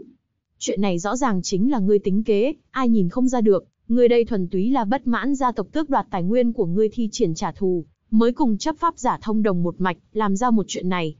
Nay, ngươi vậy mà giả bộ một bộ mặt vô tội về nhà, đem chính mình gạt một chút quan hệ cũng không có, nếu thật tin tưởng ngươi, vậy mới có quỷ. Chẳng qua, mọi người lại cũng không dám bức bách hắn nữa. Chưa nghe hắn nói sao? Hắn muốn đi chấp pháp giả nơi đó cáo ngươi một cái phỉ báng. Chấp pháp giả vì tiểu tử này, đã là ngay cả tội có ngại phong hóa, từ trước đến nay không có đều làm ra rồi, liền lại bởi vì tội phi báng bắt một kẻ nữa, lại có cái gì ngạc nhiên. Các vị đại quản sự có thể làm đến vị trí bây giờ, người nào không phải người thông minh. Mỗi người đều biết, chỉ cần bị bắt vào, có tiểu tử này châm ngòi thổi gió, cho dù không chết, cũng phải mất một tầng da, ai dám rủi ro va chạm hắn. Sở Hùng Thành ho khan một tiếng nói, Sở Dương, ngươi không cần kích động như thế, mọi người đang nghiên cứu sự tĩnh, ngươi có cái gì nói cái đó là được. Ta cũng muốn nghe ngươi giải thích một chút. Sở Dương ngần người nói, ra ra, ngài muốn nghe giải thích cái gì? Mặt Sở Hùng Thành tối sầm nói, giải thích chấp pháp giả bắt người. Sở Dương buông hai tay, ủy khuất vô cùng nói, ra ra, ngài cái này lại là làm khó ta rồi, đó là chấp pháp giả đang làm việc, ta nào biết giải thích cái gì. Ngài nếu muốn biết, ngài hỏi ta thì hỏi lầm người rồi, ngươi phải đi hỏi chấp pháp giả. Mọi người đồng thời một trận mê muội. Mẹ, có thể hỏi chấp pháp giả, còn hỏi ngươi làm cái gì? Một vị đại quản sự cúi đầu nói, nói không chừng sở dương, thiếu gia là vì hai vị tiểu thiếu gia đi tử tinh hồi xuân đường, trong lòng rất là phẫn uất, cho nên mới. Gia hòa này không dám lộ mặt, tránh ở trong đám người ồm ồm, hiển nhiên là sợ sở dương đến chấp pháp giả nơi đó cáo hắn phi báng. Tất cả mọi người lộ ra ánh mắt cùng vẻ mặt tất nhiên như thế. Sở hùng thanh thở dài một tiếng nói, sở dương, ra ra biết, chuyện tử tinh hồi xuân đường này, ngươi là bị một chút ủy khuất. Trăng qua, ngươi cùng đằng hổ đằng giao, dù sao cũng là huynh đệ máu mủ tình thâm. Lại nói, gia tộc xảy ra chuyện như vậy, trên thế diện cũng không có gì sáng giỏi, theo gia gia nhìn đến, chuyện này không nên làm nữa, ngươi đi đưa hai người huynh đệ bọn họ dẫn ra, Gia gia tất nhiên cho ngươi một cái cách nói, như thế nào? Rất hiển nhiên, lão gia tử đương nhiên cũng là nhận định, việc này tất nhiên cùng sở dương có liên quan. Sở dương ủy khuất nói, ra ra, lời này của ngài lại là nói sai rồi, tôn nhi không hiếu chuyện nữa, cũng biết chúng ta chính là một cái gia tộc, máu mủ tình thâm. Nói nói trong lòng, tử tinh hồi xuân đường bị thu về nhà tộc, tôn nhi dù sao tuổi trẻ khí thịnh, trong lòng tự nhiên là có chút oán khí. Nhưng về sau ta cũng đã nghĩ thông rồi. Hắn ngẩng đầu, chính khí nghiêm nghị nói, bởi vì chúng ta chính là người trong gia tộc, phàm việc, đều phải lo lắng vì gia tộc. Ta tùy thời chuẩn bị vì gia tộc hiến thân, vì gia tộc, trả giá tất cả của ta. Lợi ích của gia tộc cao nhất, danh dự của gia tộc cao nhất, tăng lên thực lực của gia tộc, chính là chuyện quan trọng nhất trước mặt. Chúng ta tất cả vì gia tộc, cúc cung tận tụy đến chết mới thôi. Cho dù núi đao biển lửa, chỉ cần gia tộc cần đến ta, Tôn Nhi khẳng định mày cũng không nhăn một cái. Hắn nói tới đây, mọi người trong đại sảnh đã hôn mê một nửa. Ta kháo, người này thật đúng là dám nói, xem hắn nói lòng son dạ sắt như vậy, chúng ta cùng hắn vừa so sánh, quả thực lập tức liền phải xấu hổ tự sát. Sở dương khí vũ hiên ngang, càng nói càng là ngữ điệu lanh keng, dõng dạc, cho nên, tử tinh hồi xuân đường thu hồi gia tộc, chính là quyết định anh minh nhất. Tôn Nhi giơ hai tay hai chân tán thành việc này. Về phần ta cùng với đằng hồ đằng giao, chính theo như lời ra ra, chúng ta chính là huynh đệ. Tuy cũng không phải là cùng một mẹ, lại cũng là máu mù tình thâm. Hai người bọn họ còn nhỏ, ta phàm việc liền nên nhường cho bọn họ. Cho dù vì bọn họ chịu chút ủy khuất, cũng không có gì. Bởi vì bọn họ chính là đệ đệ của ta. Ta tự do lẻ loi hưu quạnh, nay thêm hai đệ đệ tốt như thế, đáng yêu như thế, thật sự là ngậm ở miệng sợ tan, nâng ở lòng bàn tay sợ rớt. Cùng một chỗ đợi mấy ngày nay, ta là khoái lạc như vậy. Chúng ta thủ túc tình thâm, ở chung lẫn nhau cực kỳ hòa hợp, hai người bọn họ cùng ta như cá gặp nước, ta cùng với hai người bọn họ càng thêm là tình thâm nghĩa trọng. Ta, sao có thể hãm hại bọn họ? Ta yêu quỷ bọn họ, thương tiếc bọn họ, đau tiếc bọn họ còn không kịp. Sở thiểu gia nói tới đây, toàn bộ người trong sảnh đã toàn bộ hôn mê. Hai tay sở phi yên khép ở trong tay áo, ngửa mặt hướng lên trời, cơ nhục trên mặt từng trận từng trận run rẩy, ngẫu nhiên liếc liếc mắt thấy sở phi long, trong lòng chính là một trận vui sướng khi người gặp họa, cái này, ngươi chọc ai không được, thế nào cũng muốn đi chọc sở diêm vương. Bây giờ cũng biết lợi hại rồi chứ. Hừ. Dương Nhược Lan vốn lo lắng con trai, giờ phút này vẻ mặt khiếp sợ nhìn đứa con trai này đang chậm rãi mà nói, trong đầu óc tùng trận tùng trận mê muội. Ồ, lão nương quá chấn kinh rồi. Con ta trong lòng ta luôn luôn thuần khiết thiện lương thiên chân vô tà trung hậu thành thật. Hình tượng nháy mắt sụp đổ. Hôm nay mỗi tiếng nói cử động, vậy mà đều là không biết xấu hổ vô si như thế. A, không phải, là cơ trí thông minh thành thạo, lười nỡ hoa sen, miệng lười lưu loát cỡ nào, đối mặt nguy cơ, vậy mà là thong dong chấn định, có lý có chứng cứ như vậy. Ta lúc trước còn lo lắng cho hắn, nay xem ra, lấy năng lực bản thân hắn, hoàn toàn có thể hóa hiểm vi di. Thật sự là ông trời phù hộ. Ban cho con trai ta đầu óc thông minh như thế. Lão nương, ta hiện tại tuyệt không lo lắng vì hắn nữa, ngược lại lo lắng vì sở phi long. Chọc tới con ta, tính ngươi xui xẻo. Theo lão nương thấy, da mặt sở phi long ngươi, da vẻ còn không bằng con ta da mặt dày. Sở hùng thành hôn mê sau một lúc lâu, mới đen mặt hỏi, ý tứ ngươi là, chuyện này cùng ngươi không quan hệ. Sở dương nghiêm túc nói, con dám chỉ vào thương thiên đại địa, lấy cửu kiếp kiếm thề, tuyệt đối cùng ta không quan hệ. Nếu có chút liên quan, để cho cửu kiếp kiếm xuyên thấu ta một vạn lần. Cửu kiếp kiếm chính là đệ nhất thần vật của cửu trọng thiên, thề với cửu kiếp kiếm, chính là lời thề nặng nhất thượng tam thiên. Những lời này vừa ra, nhất thời sở hùng thành không hé răng nữa. Mọi người cũng không lên tiếng, cùng thề với cửu kiếp kiếm rồi. Còn nói cái gì? Chẳng lẽ không phải đem người bức tử không được sao? Sở dương vẻ mặt trầm trọng nghiêm túc, trong lòng đắc ý, cửu kiếp kiếm xuyên thấu ta một vạn lần. Hừ hừ hừ, nó dám sao? Lão tử lại là kiếm chủ, Dương. Nhược Lan gấp giọng nói, đứa nhô này, nói cái gì? Chưa làm qua chính là chưa làm qua, nào cần lời thể nặng như thế. Nói xong hai tay hợp nhau, yên lặng cầu nguyện, hiển nhiên là đang cầu nguyện vì con. Tiếp theo mỡ to mất nói, cha, nếu Dương Dương nói như vậy, như vậy chuyện này, cùng hắn không quan hệ chính là không thế nghi ngờ. Sở Hùng Thanh thở dài một tiếng nói, nói cũng phải. Chỉ là chuyện này, thật là khiến người đau đầu. Hắn nhíu mày, nói, chấp pháp giả vì sao có thể đột nhiên đối phó đằng hố cùng đằng giao. Chuyện này, thật là làm người ta khó hiểu. Sở Dương ở bên dưới tiếp lời nói, phải, chuyện này, Tôn Nhi suy nghĩ đã lâu, những chấp pháp giả này, thật sự quá không phân rõ phải trái rồi. Muốn bất cũng nên bất ta mới đúng. Sao có thể bất đệ đệ của ta? Hừ. Những chấp pháp giả này làm việc bừa bãi, tức chết ta rồi. Khụ khụ khụ khụ, khụ khụ khụ. Một bên sở phi yên sặc mạnh một hơi, kịch liệt ho khan hẳn lên. Trời ạ, ta nhịn không được nữa. Mọi người cũng đều nghị luận hẳn lên. Sở phi long trước sau đen mật không nói được một lời. Mọi người đều nói chuyện, việc này nên làm cái gì bây giờ mới tốt? Sở Hùng Thành hỏi. Thuộc hạ cho rằng, chấp pháp giả trong khoảng thời gian này liên tiếp động tác lớn, chỉ sợ là đang lập uy một vị đại quản sự chưa bao giờ nói chuyện qua nói. Một khi đã như vậy, chỉ cần sở ra chúng ta tư thái thấp một chút, trả giá một chút tử tinh, cũng liền có thể đem hai vị thiếu gia đón trở về. Sở Hùng Thành gật gật đầu, nói, vậy, ai đi làm chuyện này mới tốt? Tất cả mọi người cúi đầu. Nhất là sở phi long người một phía kia, một đám gần như đem đầu nhét ở trong đũng quần.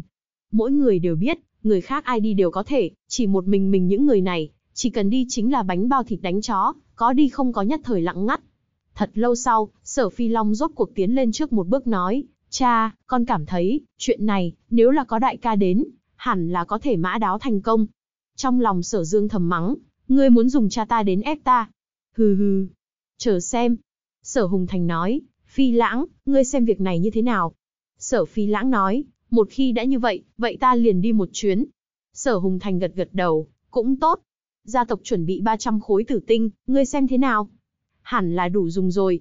Nếu là chấp pháp giả chỉ là một cái tư thái mà nói, nói vậy sẽ không khiến cho chúng ta quá mức khó xử.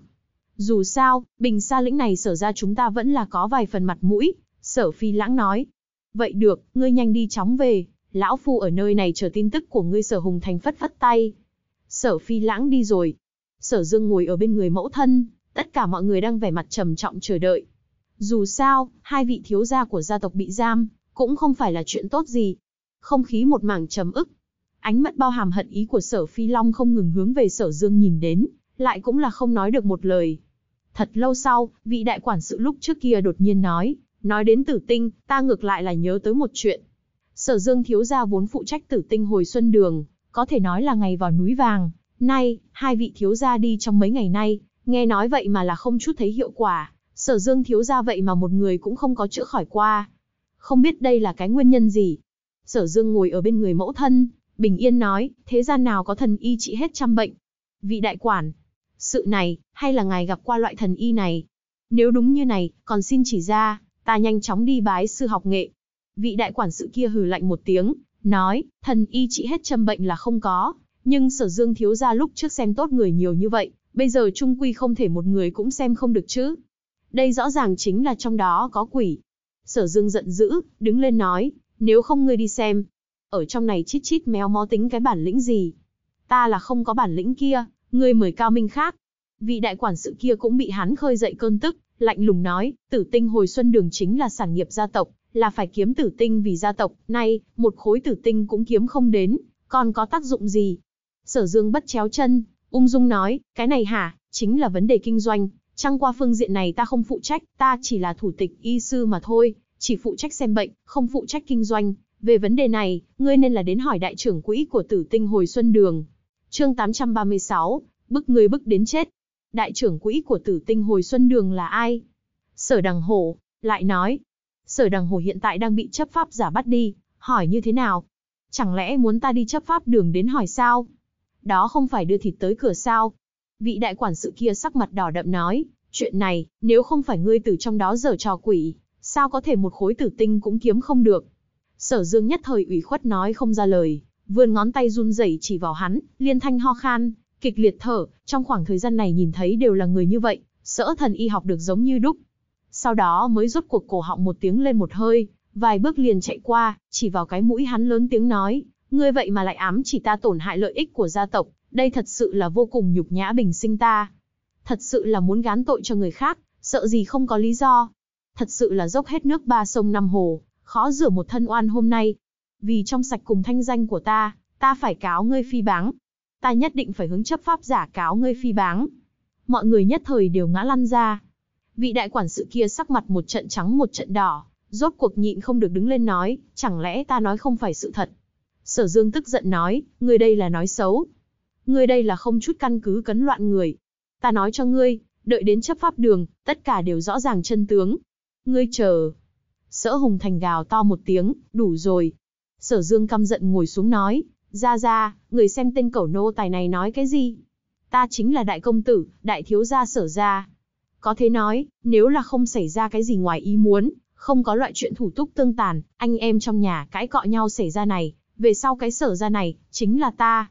Tên cấu nô tài này vậy mà dám nói ta tổn hại lợi ích của gia tộc. Hắn cũng không mở lớn mắt chó của hắn, dùng cái đầu giống như tương hồ của hắn suy nghĩ một chút, ta tổn hại lợi ích của gia tộc, chẳng phải chẳng khác nào ở trên người mình khai đao. Trong thiên hạ nào có người ngu như vậy? Tên cẩu nô tài này rõ ràng là dụng tâm kín đáo. Xin ra ra nghiêm trị loại này. Sở Hùng Thành đau đầu cao mày, đều bớt đi vài câu. Ai? Tôn tử này quả thực chính là con nhím, ai cũng không sửa được. Có lý tuyệt không quấn người, vô lý quấn ngược 10 phần, loại bản lĩnh đổi trắng thay đen, lẫn lộn phải trái này quả nhiên là rất cao. Tất cả mọi người không nói lời nào, cũng liền như vậy trầm mặc xuống. Không qua bao lâu, sở phi lăng bay người mà vào. Sở Hùng Thành gấp giọng hỏi, như thế nào? Sở phi long cũng ngẩng mạnh đầu lên. Trong tay sở phi lăng sách gói hành lý mang ra kia, bên trong nặng trịch. Lắc lắc đầu nói, xa tâm lượng căn bản không cho ta nói chuyện, cũng từ chối không nhận lễ, liền đem ta đuổi về. Nói việc này có ngại phong hóa, ảnh hưởng thật lớn, không thế không làm cẩn thận. Còn nói cái gì có khả năng là cái gì tam tinh thánh tộc mê hoặc thần trí, sau lưng còn có kẻ làm chủ. Trước mắt đang thẩm vấn, ta muốn gặp mặt một lần, cũng bị cự tuyệt. Mọi người đều kinh hãi. Một bên, thê tử sở phi long nhất thời anh anh khóc lên. Sắc mặt sở phi long nhất thời trở nên giống như giấy trắng. Thẩm vấn. Sở lão gia tử cả kinh nói, chấp pháp đường thẩm vấn, sao là chỗ hai người bọn hắn trải qua được. Những lời này không cần phải nói, trong lòng mọi người đều hiểu. Lấy hai người sở đằng hổ cùng sở đằng. Giao, từ nhỏ nuông chiều quen, sao thừa nhận nổi đại hình. Sở lão gia tử dẫm dẫm chân nói, bỏ đi, ta vứt bỏ cái khuôn mặt già nua này, tự mình tiến đến một lần. Chỉ sợ lão nhân gia ngài tiến đến, cũng là không làm nên chuyện gì sở phi long buồn bã nói. Vậy ai đi mới dùng được?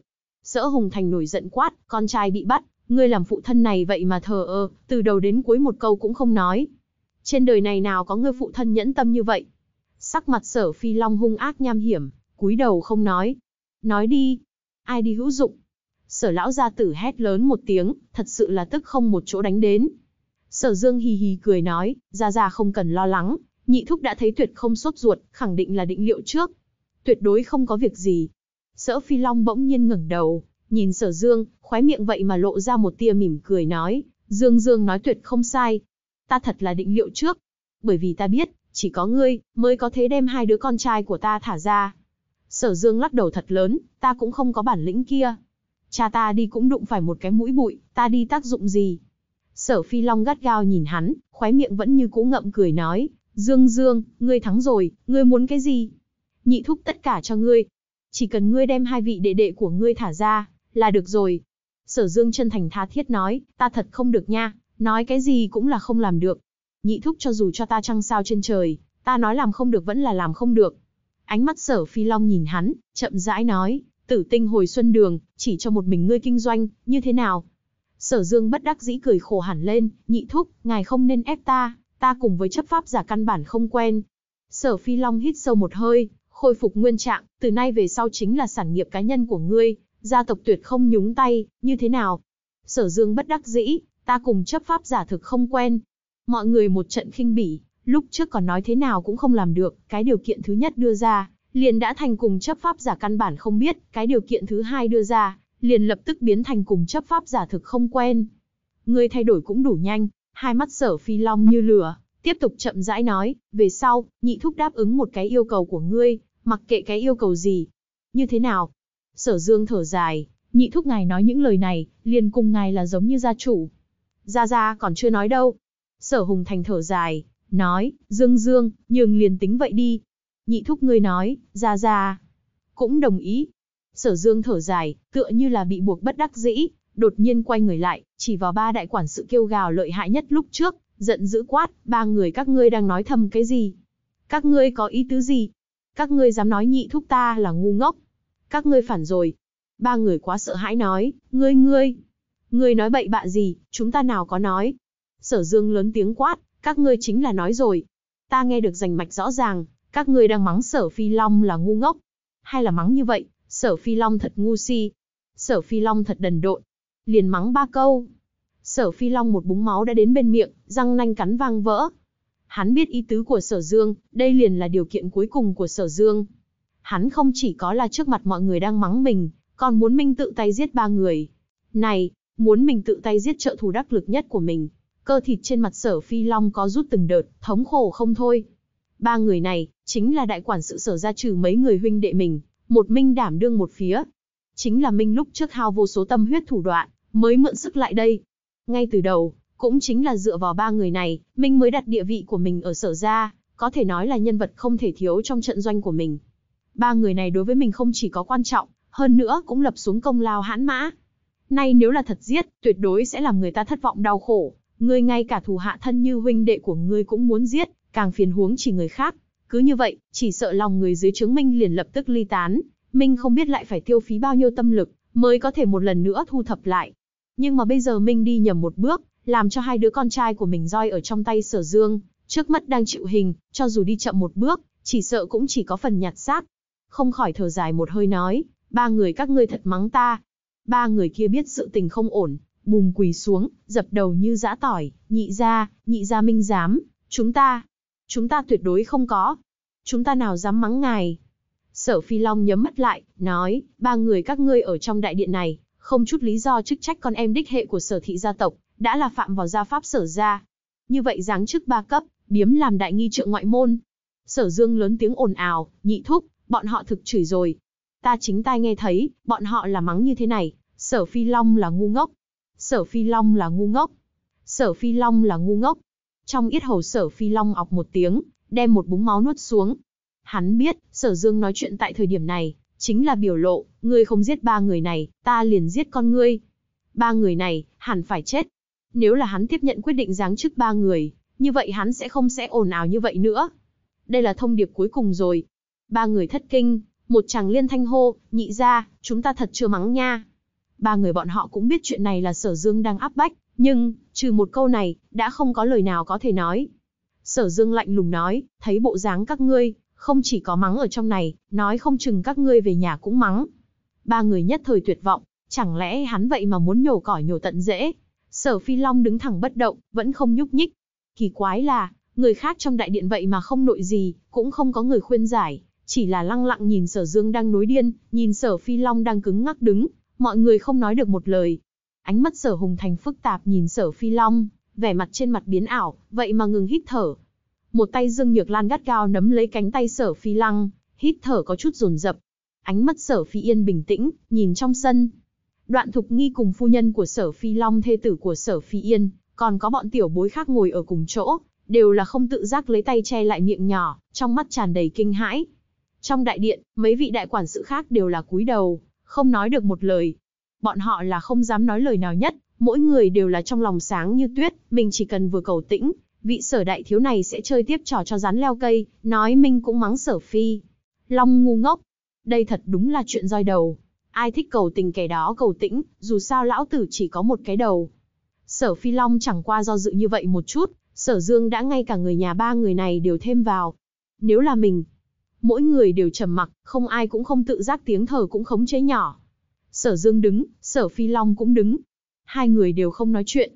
Nhưng tất cả mọi người biết, hai người chú cháu này rằng co, đã đến thời khắc mấu chốt nhất, tay Sở Phi Long đang run rẩy, mồ hôi trên trán chảy ròng ròng xuống, Hắn không muốn giết ba người này, nhưng là nếu không giết, sẽ trả giá con trai của mình. Chương 837, ta cái này thực không phải được tiện nghi còn khoe mẽ.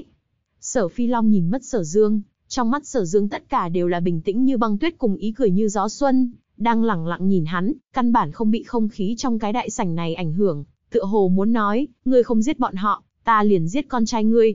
Ngươi yên tâm, ta tuyệt đối bỏ được. Sở Phi Long rõ ràng phát hiện, ở ở chỗ sâu trong ánh mắt của Sở Dương, có một phần tàn nhẫn ác độc đàng hoàng không chút nào che giấu, giống như kên kên ăn xác bên trong sa mạc. Đó rõ ràng là sát khí sát phạt quyết đoán khủng bố cùng quyết tâm không thể sửa đổi. Hai người rằng co thật lâu. Đột nhiên, sở dương mỉm cười một chút, quay đầu đi chỗ khác, nhẹ giọng nói, biện pháp gì cũng không có. Ai, nhị thúc nén giận như vậy. Ta thấy cũng trong lòng không nhịn được, vẫn là trở về đi ngủ thôi. Thê tử sở Phi Long ở một bên khóc kêu lên, Phi Long. Người, người vì con trai chúng ta, Thân thể sở phi long kịch liệt run rẩy một cái, quay đầu nhìn lại, chỉ thấy thê tử đã là đầy mặt nước mắt. Bên người tiếng bước chân nổi lên, sở dương đã sắp đi khỏi đại sảnh. Hắn bước đi trầm ổn, chưa từng có từ trước đến nay, tuyệt không quay đầu. Bước chân thoải mái, dáng người thẳng thắn, hiện ra hắn tuyệt không sửa đổi quyết chuyện được copy tại hàm răng sở phi long thoáng cắn, trong lòng quyết tâm, đột nhiên bạo giống một tiếng, các ngươi ba tên vô liêm sỉ này, cũng dám mắng ta. Tay nâng trường hạ xuống, ba người kia quỳ trên mặt đất tốc tốc chiến đấu, vừa nghe một tiếng giống to này, nhất thời cảm giác tuyệt vọng, giống to lên, sở phi long. Ngươi tên này. Nhưng sở phi long đã quyết định muốn giết người, nào sẽ cho bọn họ cơ hội nói chuyện, liên tục ba trường, hạ xuống như gió lốc, bốp, bốp, bốp, ba cái đầu, đồng thời trở nên giống như dưa hấu nát. xác chết của ba người, chậm rãi uể oải ngã trên mặt đất, máu tươi lẳng lặng chảy ra, trên mặt đất tụ thành một bãi, chậm rãi chảy tới dưới chân sở phi long, đem hai chân tính cả giày của hắn, đều ngâm ở bên trong. Trong đại sảnh yên tĩnh như chết, cả người sở phi long run rẩy, ngẩng đầu lên, nhắm hai mắt lại. Hét lớn một tiếng nói, sở dương, ngươi hài lòng chưa? Sở dương đã đi tới cửa, nghe vậy chậm rãi xoay người lại, ngạc nhiên nói, nhị thúc, bọn họ chửi, người trách cứ bọn họ vài câu cũng liền thôi, vì sao vậy mà đem bọn họ giết? Người người người, không biết là quá tàn nhẫn sao? Sở phi long oa một tiếng, một búng máu phun tới, ngực phập phồng. Sở dương nói, lại nói, người giết bọn họ cũng liền giết rồi, dù sao bọn họ chửi trước, người giết bọn họ coi như là nên, nhưng, cùng ta lại có cái quan hệ gì? Vì sao phải nói, ta hài lòng chưa? Sở phi long nhấm mắt lại, cơ nhục trên má bần bật run rẩy, dùng hết tu vi toàn thân, mới làm cho mình không bộc phát ra, thanh âm khàn khàn, trầm thấp nói, việc này, quả thật cùng ngươi không chút quan hệ. Nói là nhị thúc sở dương thân thiết nói, nhị thúc, ngươi nếu giết bọn họ, liền phải cẩn thận. Cần biết nhổ cỏ, phải trừ tận gốc. Những lời này đi ra, trong lòng mọi người đều là giật minh một cái, trong lòng lạnh lẽo một mảng. Hắn không chỉ có buộc sở phi long giết người, vậy mà còn liền người nhà của ba người bị giết cũng không buông tha. Ác độc như thế, sở phi lăng nhịn không được cả giận nói, Dương Dương, ngươi, quả dương ngốc. Dương Nhược Lan hung hăng nhéo hắn một cái, thấp giọng truyền âm nói, ngươi chính là một quả dương ngốc. Ngươi chẳng lẽ còn nhìn không ra được sao? Sở phi lăng mê mê hoặc hoặc truyền âm nói, nhìn ra cái gì? Dương Nhược Lan thở dài một tiếng, ngươi chẳng lẽ liền nhìn không ra được dụng ý chân thật của Dương Dương? Ngay cả phụ thân tính tình bạo liệt như vậy cũng chưa lên tiếng, ngươi kêu to cái gì? Sở phi lăng quay đầu nhìn sở hùng thành, quả nhiên thấy phụ thân của mình đang cau mày, nhìn chính giữa đại sảnh một đống vết máu, không nói một lời. Cao mày suy nghĩ một hồi, rốt cuộc nói, vì sao? Dương Nhược Lan hoàn toàn không còn lời nào, đành phải bất đắc dĩ truyền âm nói, ở mặt ngoài thoạt nhìn, việc này Dương Dương làm rất tàn nhẫn.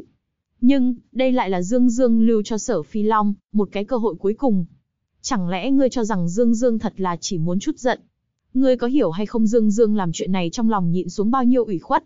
Dương Dương gạt bỏ cánh chim của sở phi long, đả kích uy túi của sở phi long, ly tán lòng người của sở phi long, làm cho thế lực sở phi long, nhiều năm tâm huyết thành lập lên từ nay về sau trở nên nghi thần nghi quỷ, nội tâm không vững, làm cho sở phi long trong tạm thời, căn bản không có bất cứ lực lượng nào đến phát động chuyện gì.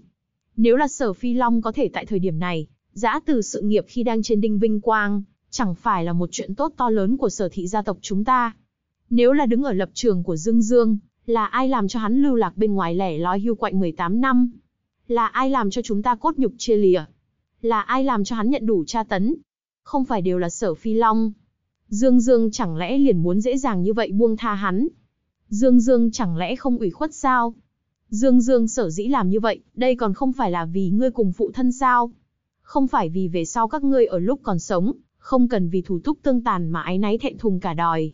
Thật sự là cái đầu heo. Sở phi lăng rốt cuộc không phải người ngốc, nghĩ nghĩ, rốt cuộc bừng tinh đại ngộ, thì ra là thế. Sở phi long ngơ ngác đứng, hắn biết, vừa giết ba người này, Giang Sơn mình khổ tâm kinh doanh đã suy sụp hơn một nửa, lòng người ly tán, chính là tất nhiên. Nếu là lại giết người nhà của ba người này, như vậy, tương đương liền suy sụp hơn phân nửa. Ai sẽ vì chủ tử vô tình vô nghĩa như vậy bán mạng? Chẳng may ta một ngày nào đó đắc tội sở dương, lại đến kết cục tương tự, chẳng phải là lão bà đứa nhô của ta cũng xong đòi rồi.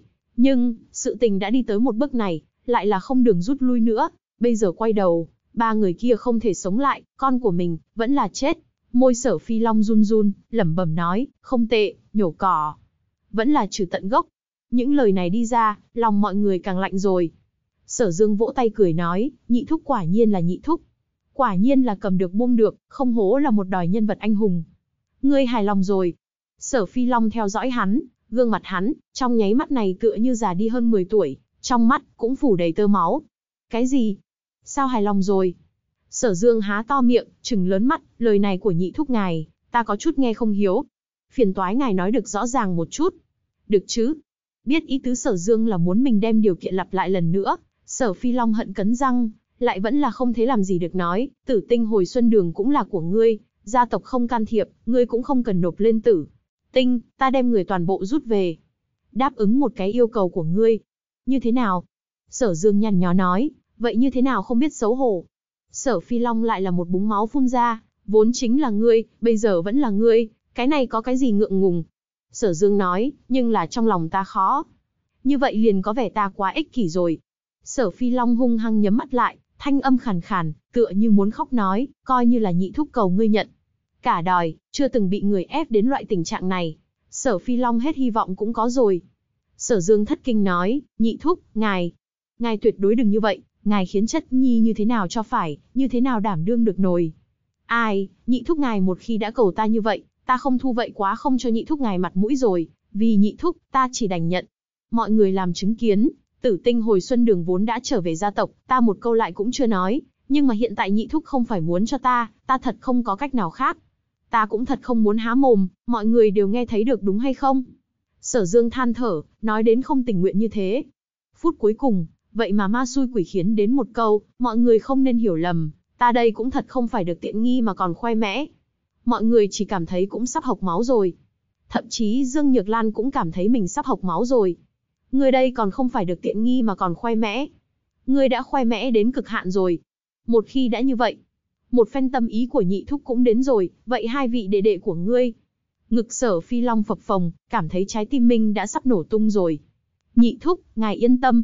Tiểu chất vậy liền đi liều mạng. Ai, thật ra không chỉ có ngài đau lòng, ta cũng càng đau lòng.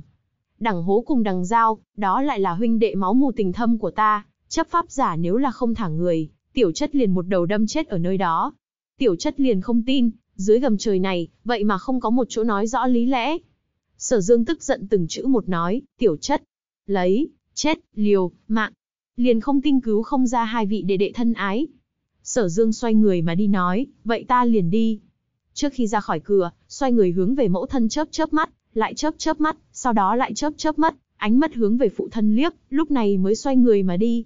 Con mắt Dương Nhược Lan sáng lên, nhìn bóng người hắn biển mất ở ngoài cửa, cả người sở phi long run rẩy, hai mắt đỏ đậm, rốt cuộc run run, ngồi xuống dưới, hai tay tựa như muốn nắm lấy cái gì, vươn ra, nhưng dù sao không có hoàn toàn vươn ra, liền lại rụt trở về, che mạnh ở tại trên mặt Minh. Sở Hùng Thành thở dài một hơi thật sâu nói, Phi Long. Sở Phi Long quát to một tiếng, đứng mạnh lên, oa oa oa liền phun ba ngụm máu tươi, hai mắt nhắm lại, thân mình cường tráng thẳng tắp hướng phía sau ngã xuống. Toàn bộ đại sảnh sở ra, một mảng yên lặng. Chuyện hôm nay, có thể nói làm cho mọi người cảm thấy kinh tâm động phách. Sở Phi Long bố cục tỉ mỉ, phát động nội tình nhiều năm như vậy của mình, cùng đối với gia tộc tiến hành áp bách giống như phản đối bằng vũ trang. Lấy lực lượng toàn bộ gia tộc, đến áp chế sở dương vừa mới tới sở ra.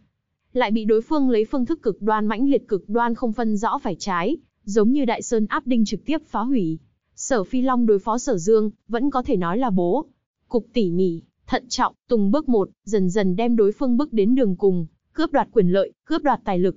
Nhưng thủ đoạn của sở dương, lại càng thêm làm cho mọi người trực tiếp hoa mắt thần mê, đầy minh lạnh lẽo. Chỉ có hai chữ, đáng sợ. Thật sự là quá đáng sợ. Sở Dương chính là căn bản không để ý tới âm mưu của Sở Phi Long, ra tay đối với Sở Phi Long, căn bản không tiếp chiêu. Nhưng thủ đoạn lại càng thêm dữ dằn trực tiếp. Người ép ta. Tốt. Vậy ta liền bất con ngươi. Hơn nữa là không có bất cứ lý do nào. Tùy tiện lập một cái cớ, khiến cho hai đứa con hai thủ hạ của ngươi cùng nhau đi vào. Hơn nữa ngươi còn không dám đi đòi người, ngươi nếu là đi, liền đem ngươi cùng nhau bắt lại. Ngươi chỉ có thể đến cầu ta.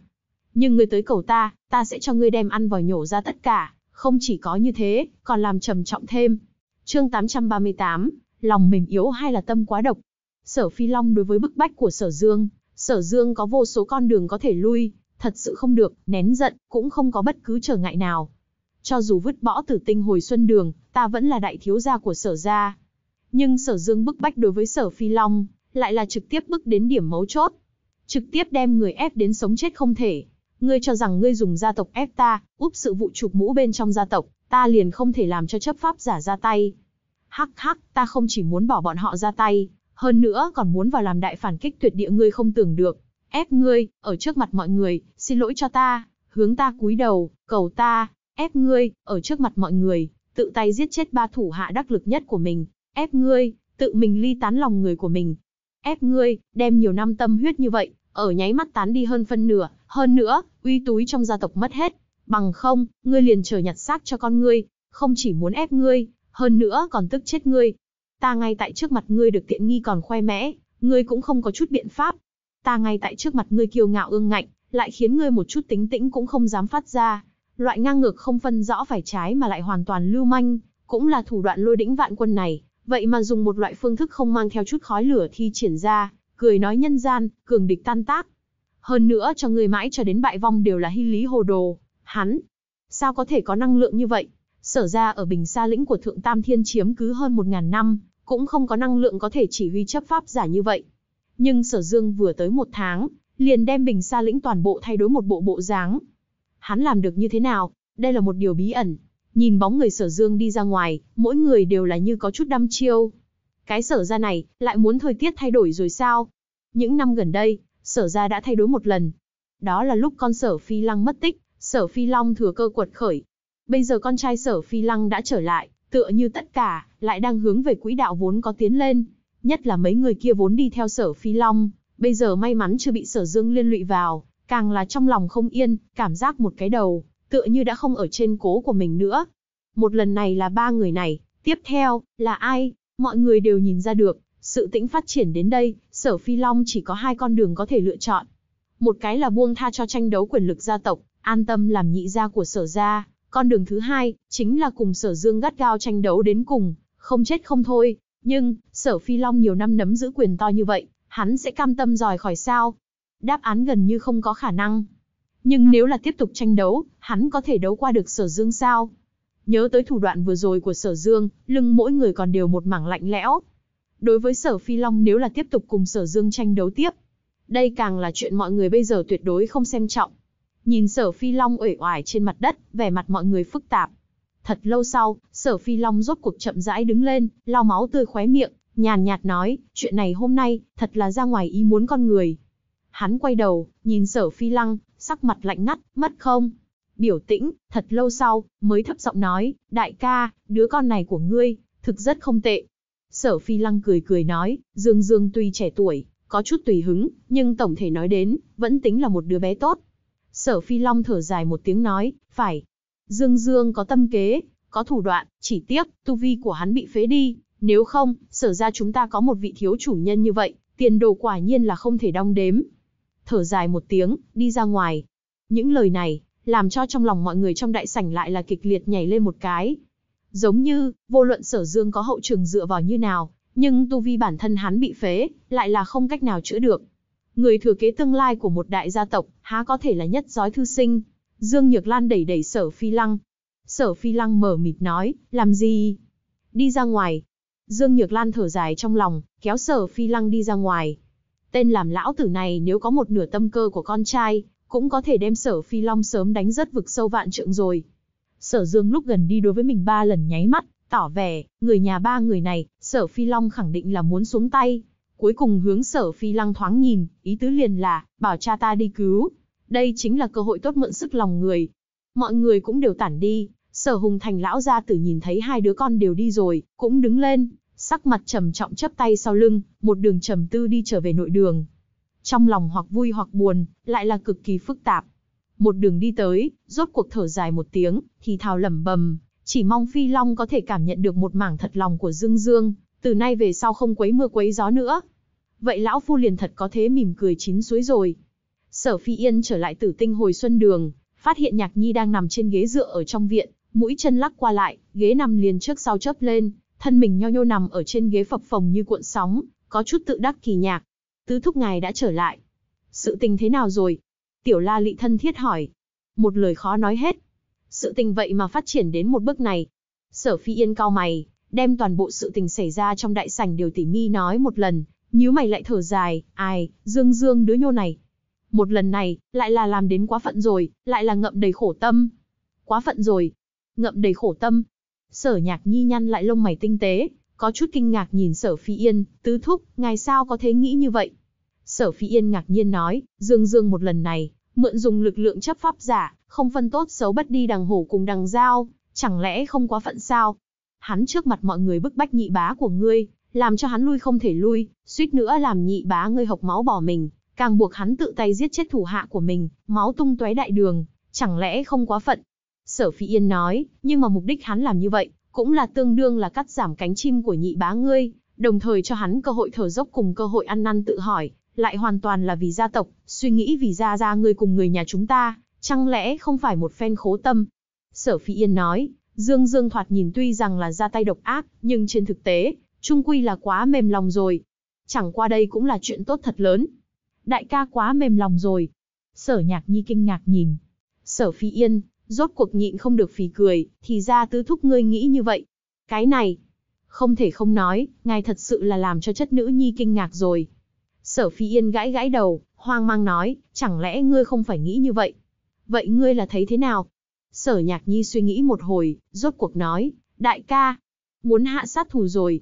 Sở Phi Yên nhất thời hoảng sợ, hai con mắt đều trợn tròn, hạ sát thù.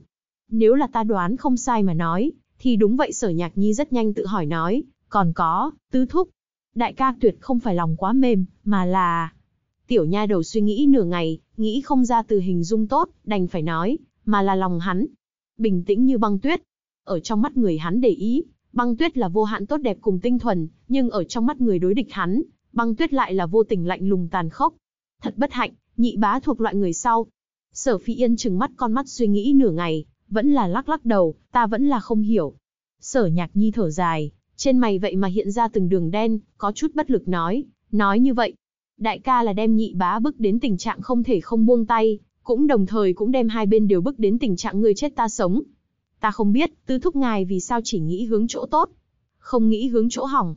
Cần biết trong thế gian này, phàm việc phát triển, thường thường đều là cùng thiết tường tốt một trời một vực, nhân tính đáng ghê tởm một mặt chỉ cần ngẩng đầu, thiện lương là vô luận như thế nào cũng ép không xuống được. Sở Phi Yên mê man nói, cái này, ta biết, nhưng là cái này, có gì quan hệ? Sở Nhạc Nhi nâng cái đầu nhỏ rên rỉ một tiếng, tứ thúc, ngài nói, nhị bá hao hết tâm cơ, ở trong gia tộc, thanh danh uy vọng xa xa thắng qua đại bá, thậm chí so với Gia Gia còn muốn lợi hại hơn một chút, nhiều năm như vậy đều qua rồi, hắn có thể quen loại cuộc sống này hay không? Đó là đương nhiên.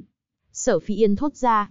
Phải, nếu như lúc này có người toát ra, lập tức đem toàn bộ tính kế của hắn đánh đến nát vụn, người nói hắn là cảm kích người kia cho hắn cơ hội làm cho hắn thu tay lại. Hay là đối với hắn hận thấu xương, không chết không thôi. Sở Nhạc Nhi tiếp tục hỏi. Đương nhiên là không chết không thôi. A, Sở Phi Yên sau khi thốt ra lập tức tinh ngộ, trên chán chảy dòng dòng toát ra mồ hôi. Đây không phải liền kết rồi sao? Sở Nhạc Nhi nhíu nhíu lông mày tinh xảo, đại ca chính là ý tứ này, bởi vì hắn đã nhìn thấu nhị bá. Sở Phi Yên ngây ra như phỗng. Nguồn Chu Yên phun. VN, một lần này đại ca ngang ngược không phân rõ phải trái cấu kết chấp pháp giả, đem hai vị ca ca đằng hổ cùng đằng giao bất đi, nếu là bất lấy không thả, hoàn toàn có thể dùng loại phương pháp không phân rõ phải trái này, đem nhị bá hoàn toàn đánh bại, thậm chí giết tuyệt. Chấp pháp giả nếu có thể giúp hắn không phân rõ phải trái giết chết Tiêu Ngọc Long, lại giúp hắn không phân rõ phải trái bất người, vậy có thể giúp hắn không phân rõ phải trái trinh chết sở phi long.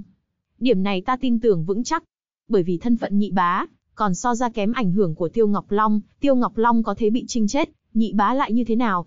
Sở Nhạc Nhi phân tích đâu vào đấy. Sở Phi Yên gật gật đầu nói, vậy hắn vì sao không dứt khoát là một mẻ, khỏe cả đòi. Hiện tại đương nhiên không được, sở Nhạc Nhi nhàn nhạt, cười cười, vươn một ngón tay gần như trong suốt, nói, thứ nhất, đại ca vừa mới trở về gia tộc, đối với tất, cả sự vụ của gia tộc còn không hiếu biết, hơn nữa bây giờ việc nhà đều nắm giữ ở trong tay nhị bá, nhị bá nếu chết ở lục này, sở thị gia tộc tuyệt đối có thể loạn là một đoàn. Cho nên đại ca không thể mạo hiểm. Cho nên hắn chỉ có thể trước phân hóa, sau khi đem thế lực của nhị bá giã sụp đổ, biến thành một mảng cát giòi, đó mới là thời cơ động thủ tốt thật sự. Thứ hai chính là, bây giờ nhị bá chính là đối phó đại ca, cũng không có đối phó những người khác, đại ca hạ sát thù, liền có vẻ thiên tính lạnh bạc, không có lòng dung nhân. Hơn nữa đại ca dù sao cũng là vãn bối, đại ca còn phải gánh một cái tội danh thí thân, làm cho người ta ấn tượng cũng thành xuống tay độc ác, bạc tình quả nghĩa. Nếu muốn thành tựu một phen sự nghiệp, đây chính là vết thương chí mệnh. Thứ ba, nếu là nhị bá chết ở lúc này, Gia Gia cùng đại bá tất nhiên sẽ áy náy cả đòi, trong lòng khó chịu. Dù sao nhị bá cũng chưa làm chuyện gì thật rõ ràng thương thiên hại lý. Đại ca cũng đang cố kỵ một điểm này. Chương 839, ngươi đứng ở bên nào? Thứ tư, cũng là đại ca sớm đã tính chuẩn, nhị bá không có khả năng dừng tay như vậy. Cho nên, mọi người nhìn đến tuy rõ ràng là đại ca cho nhị bá cơ hội ăn năn, nhưng trên thực tế, lại không phải. Nếu là nhị bá về sau lại làm cái động tác gì, hoặc là hãm hại đại ca mà nói, một khi bị đại ca bất lấy, đại ca làm cái gì, cũng sẽ không dẫn đến chê cười. Hơn nữa, khó chịu trong lòng đại bá cùng Gia Gia cũng có thế giảm bớt rất nhiều, cũng đã cho ngươi một lần cơ hội, ngươi vì sao khăng khăng một mực. Lại hoặc là, ngươi khăng khăng một mực như vậy, lại muốn nháo tới khi nào. Khi đó, có lẽ chính là hạn chết của nhị bá. Hơn nữa căn bản dẫn không dậy nổi bao nhiêu người đồng tĩnh. người hôm nay giết thủ hạ thân cận nhất, ngày mai vừa muốn ra hại đứa cháu ruột thịt của mình. Người như vậy, còn sống làm cái gì? Đến lúc đó, đại ca không chỉ có không phải bạc tĩnh quả nghĩa, hơn nữa thành trọng tình trọng nghĩa, bất đắc dĩ. Một lần lại một lần tha thứ, cho cơ hội, còn chưa thể chứng minh điểm này sao? Đến lúc đó, thanh danh của đại ca ở gia tộc, tất nhiên sẽ nổi hơn thời kỳ toàn thịnh của nhị bá. Đối với một người muốn giết mình còn nhớ tĩnh ý, không đành lòng xuống tay. Chủ tử như vậy, há có thể không khiến người tin cậy tự đáy lòng. Xuất ra lực ngưng tụ, cũng liền chân chính hĩnh thành rồi. Sở nhạc nhi nhìn sở phi yên, lẳng lặng lén lút cười cười nói, tứ thúc, ngài là người thành thật, chất nữ khuyên ngài. Đối với chuyện này, vẫn là không cần suy nghĩ nhiều như vậy nữa. Sở phi yên chừng mất con mất, chỉ nghe đến cả người mồ hôi lạnh chảy ròng ròng xuống, trên người một mảng lạnh lẽo, trong lòng vô hạn sợ hãi. Giờ khắc này, hắn chân chính biết rồi, cái gì gọi là quyền mưu, sở nhạc nhi phân tích tầng tầng, đem một chút ảo tường tốt đẹp kia trong lòng sở phi yên, đã kích phá thành mảnh nhô.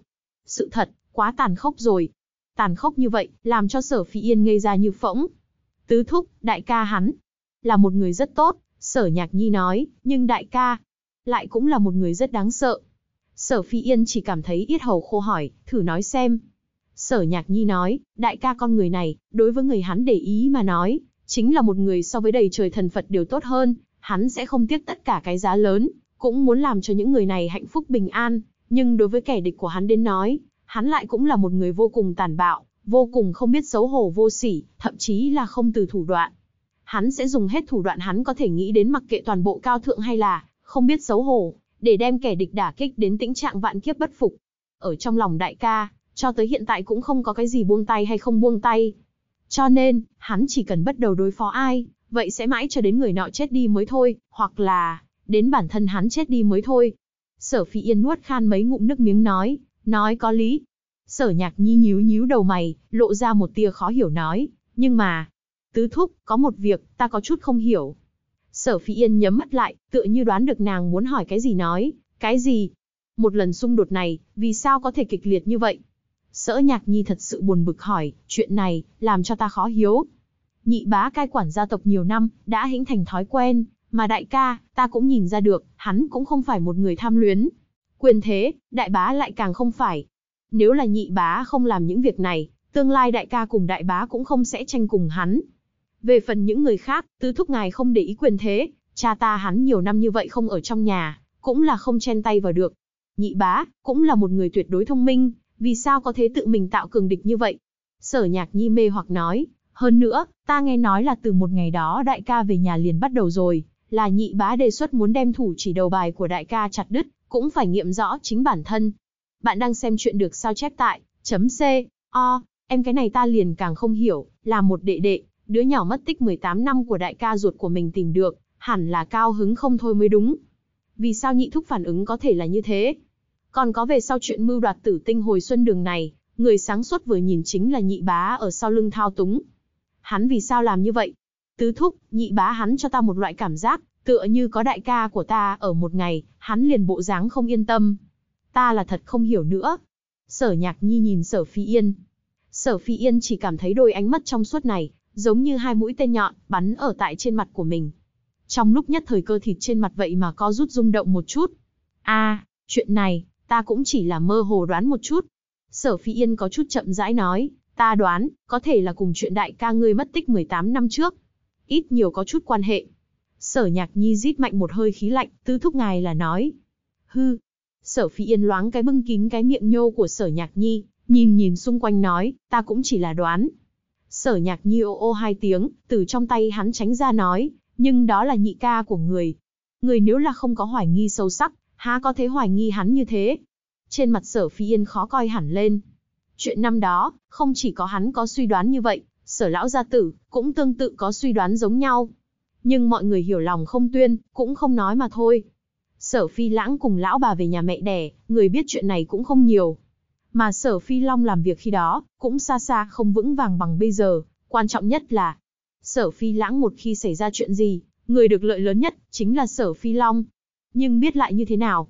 Hoài nghi lại như thế nào? Trung quy không thể ngay tại cái thời điểm kia, không chỉ đánh mất tôn tử còn phải xử quyết con trai, làm cho cả sở ra sụp đổ chứ. Thì ra còn có nguyên nhân như thế. Vậy không trách được rồi. Sở nhạc nhi thì thảo nói, nếu như thế, đó chính là, không chỉ có nhị bá có ý muốn đối phó đại ca, mà đại ca từ lâu đã có lòng muốn đối phó nhị bá rồi. Cái này nói rõ, đại ca đối với chuyện này, đã sớm có tính toán trong lòng, bởi vì hắn vừa mới tỉnh lại, liền cho nhị bá một cái hạ mã uy. Đây cũng là không phải chuyện giữa chú cháu xa cách gặp lại có thể làm ra. Sở Phi Yên nghĩ nghĩ, không khỏi sợ hãi. Những lời này của Sở Nhạc Nhi, quả thực là nói chúng tim đen. Phải, việc này rất rõ ràng. Sở Phi Long đối phó Sở Dương không giống như là chuyện giữa chú cháu có thể làm ra, nhưng phản ứng của Sở Dương cũng tuyệt đối không giống một đôi chú cháu xa cách lâu gặp lại. Nhưng mọi người lúc ấy đều đang cân nhắc Sở Dương chính là đánh trả bất đắc dĩ. Nhưng cho dù là đánh trả bất đắc dĩ, một đứa cháu vừa mới về nhà, sao có thể đối với nhị thúc ruột thịt của mình xuống tay không lưu đường sống như thế. Nhiều người nhận biết như vậy, vậy mà còn không bằng một tiểu cô nương nhìn được rõ ràng. Sở Phi Yên hố thẹn không chỗ chui. Nếu là như thế, như vậy, giữa đại ca cùng nhị bá, chỉ sợ sớm hay muộn tránh không được là phải ngươi chết ta sống. Trên khuôn mặt nhô nhắn của sở nhạc nhi sầu lo hẳn lên. Sở Phi Yên ảm đạm gục đầu xuống, chỉ cảm thấy ngực giống như bị tảng đá lớn ngăn chặn, cốt nhục tương tàn. Anh em trong nhà cãi cọ nhau mấy chữ này tuôn vào trong lòng hắn, làm cho hắn trầm trọng không thở nổi. Tứ thúc, nếu là đại ca cùng nhị bá thật trở thành ngươi chết ta sống, ngài đứng ở một bên nào? Sở nhạc nhi hơi hơi nghiêng đầu, nhìn sở phi yên, trên mặt tuổi nho nhỏ, vậy mà là một mảng ý vị sâu xa. Ta đứng ở một bên nào? Sở phi yên mờ mịt rồi. Một bên là nhị ca cùng một mẹ của mình, một bên là đứa cháu mình thường thức nhất, con trai của đại ca tôn kính nhất. Ta có thể đứng ở một bên nào? Sở phi yên ngây ra như phỗng, thật lâu sau, khô khốc nói, thật nếu có lúc đó, ta, ta dứt khoát tính chết trước đi, cho dù chết, cũng không muốn nhìn thấy một màn cốt nhục tương tàn kia. Nhưng mà, cho dù người chết, một màn kia cũng không tránh được. Ánh mắt trong suốt của sở nhạc nhi nhìn sở phi yên, vậy mà có chút khí thế bức người. Vậy ngươi đứng ở một bên nào? Sở phi yên hỏi. Ta. Sở nhạc nhi cười cười, tự ích lợi nói lên, nhị thúc từng cắt xén qua tử tinh mua thuốc cho ta, đại ca lại trị bệnh ta, Sở Phi Yên đờ đẫn chống đỡ. Từ cảm tĩnh cá nhân nói lên, ta từ nhỏ trừ cha mẫu thân ta, ngay cả hai ca ca ruột thịt của ta đều đối với ta tôn kính, mà không thể gần gũi. Nhị bá từ lúc ta còn nhỏ bắt đầu, liền chưa từng có ôm qua ta, mà đại ca lại thường xuyên đem ta ôm vào trong ngực. Ánh mắt nhị bá nhìn ta tựa, như nhìn một cái động không đáy dùng tiền tài không lấp đầy được, nhưng ánh mắt đại ca lúc nhìn ta, tựa như ánh mắt ấm áp chiều mến của cha ta, làm cho ta xa vào ở trong đó, có thế cảm giác được dựa dẫm cùng hạnh phúc. Sở nhạc nhi quay đầu, nhẹ nhàng nói, tứ thúc, ngài đoán ta sẽ đứng ở một bên nào. Sở phi yên không cần đoán, vì đáp án này đã rõ ràng bày ra nơi đó. Đại ca nếu là muốn lên núi đao, ta liền lót hắn đi lên. Đại ca nếu là muốn làm cường đạo, ta liền vì hắn chém ngã cây ngăn đường. Đại ca nếu là biến thành ác ma, vậy ta khẳng định sẽ là một con ma nữ sở nhạc nhi mỉm cười. Cái này cùng cảm ơn không quan hệ, cùng loại tình cảm huynh muội không quan hệ, cùng bệnh của ta không quan hệ, bởi vì, đại ca là trừ cha mẹ, một người duy nhất đối với ta tốt thật lòng. Tứ thúc ngài cũng đối với ta tốt lắm, nhưng là ngài có điều cố kỵ, đại ca rất tốt với ta, lại là hoàn toàn không cố kỵ. Cho nên ta đối tốt với hắn, cũng là hoàn toàn không cố kỵ. Mặt sở phi yên thoáng đỏ, lại thoáng trắng, buồn bã đứng thẳng, thật lâu sau không nói gì. Chỉ cảm thấy cơn gió nhân gian thổi quét mặt mà qua này, cũng mang theo một tia mát mẻ trời thu hiu quạnh. Mùa thu rồi, Buổi chiều hôm đó, Sở Dương vẫn chưa trở về. Sở Phi Long rốt cuộc nhịn không được, hắn biết Sở Dương đang chờ tin tức của mình. Mình không xuống tay đối với người nhà của ba người kia, Sở Dương chỉ sợ là sẽ không mang theo con trai của mình trở về. Ở dưới lão bà thúc giục, Sở Phi Long đỏ mất liên tục uống ba bát rượu mạnh, xách lên đại đao liền dòi nhà. Nhưng ở lúc hạ thủ, bị Sở Phi Lăng rất là trùng hợp gặp được. Từ dưới, đao mổ của sở Phi Long, đem người nhà vô tội của ba nhà kia cứu ra. Sở Phi Long gần như bị tức điên rồi, bởi vì sở Phi Lăng nói một câu, khiến cho cả chuyện trở nên không thể vãn hồi. Nhị đệ, ngươi đã giết ba người bọn họ, chẳng lẽ còn phải thật chém tận giết tuyệt sao? Những lời này, là Dương Nhược Lan dạy cho sở Phi Lăng. Hơn nữa hạ mệnh lệnh chết, nếu là không nói, về sau vĩnh viễn cũng đừng nghĩ đến lên giường nữa. Nàng biết, lấy sở Phi Lăng hàm hậu cùng trọng tĩnh, không bức đến tĩnh trạng nhất định là làm không ra loại sự tĩnh này, nói không nên lời loại lời này. Nhìn người ba nhà kia dùng ánh mắt tràn ngập cừu hận ăn thịt người nhìn Minh, bị sở phi lăng cứu đi, sở phi long cảm giác trong ngực bụng một trận kịch liệt khó chịu, lại là một búng máu phun tới, cả người run run, đặt mông ngồi dưới đất, thì thào thấp giọng nói một câu, ta nhất định, nhất định phải đem cả nhà các ngươi dùng phương thức tàn nhẫn nhất, giết chết, nhất định. Chương 840, tin tức tốt liên tục. Khi sở dương trở về, mang về đến sở đằng hổ cùng sở đằng giao. Nhìn hai người mình đầy thương tích đi theo phía sau sở dương trở về, ánh mắt mọi người biến đổi hết rồi. Đại thiếu gia, thật có thể có năng lực làm cho chấp pháp giả cúi đầu. Đương nhiên, sở dương theo thường lệ tố khổ, nói một phen, mình lấy chết để ép như thế nào, cầu xin mọi cách như thế nào, nguyện lấy thân thay thế như thế nào, như thế nào. Nói ngắn lại, sở đại thiếu chính là chịu rất nhiều khổ sở, trải qua núi đao biển lửa 18 tầng địa ngục, mới đưa hai vị đệ đệ thân ái cứu trở về. Đối với cái lời nói này, sở ra không người nào không khịt mũi khinh bỉ. Gia hỏa này, được tiện nghi còn khoai mẽ đến nghiện rồi. Sở Dương tự mình đem hai đứa con đưa đi trong tiểu viện của Sở Phi Long, đương nhiên theo thường lệ lại kể ra một lần gian khổ của mình, trước khi đi còn nói với Sở Phi Long, nhị thúc, nếu là hai vị đệ đệ không có địa phương khác có thể đi, có thể tiếp tục đến Tử Tinh Hồi Xuân Đường làm đại trưởng quầy. Huynh đệ chúng ta đồng lòng, cùng nhau tạo ra một cái Tử Tinh Hồi Xuân Đường nổi tiếng cả cửu trọng thiên. Sở Phi Long cắn răng nói, đa tạ chiếu cố. Sở Dương tươi cười khả cúc, nhị thúc sao lại nói như vậy, chúng ta lại là người một nhà, mặt sở phi long liền đen tại chỗ.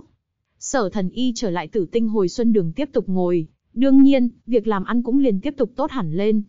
Sau đó, tin tức tốt liên tiếp giống như từng hạt tuyết roi bay tới, trong lòng sở dương tốt gần như liền muốn hát vang một khúc rồi.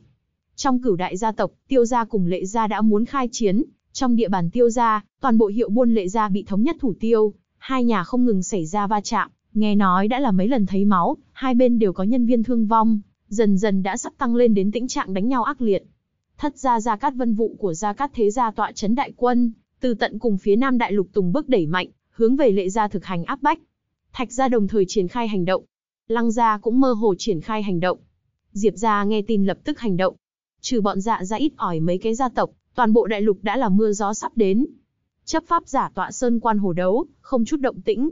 Đây là một cái tin tức tốt trong đó. Cái tin tức tốt thứ hai, lại có linh dược tam thiên, Sa Tâm Lượng cùng Tần Bảo Thiện cần liền sắp đến rồi. Điều này làm cho hai người Sa Tâm Lượng cùng Tần Bảo Thiện hưng phấn không thôi. Đương nhiên, Sở Thần Y càng thêm hưng phấn không thôi.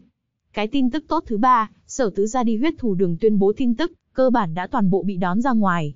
Hơn nữa, cửu diệp nhất chỉ hoa trong 6 loại độc dược, đã có nơi ở. Mà mấy vị khác, dự tính trong ngắn hạn cũng có thể có hồi phục. Tin tức này làm cho sở dương thở phào nhẹ nhõm thật dài.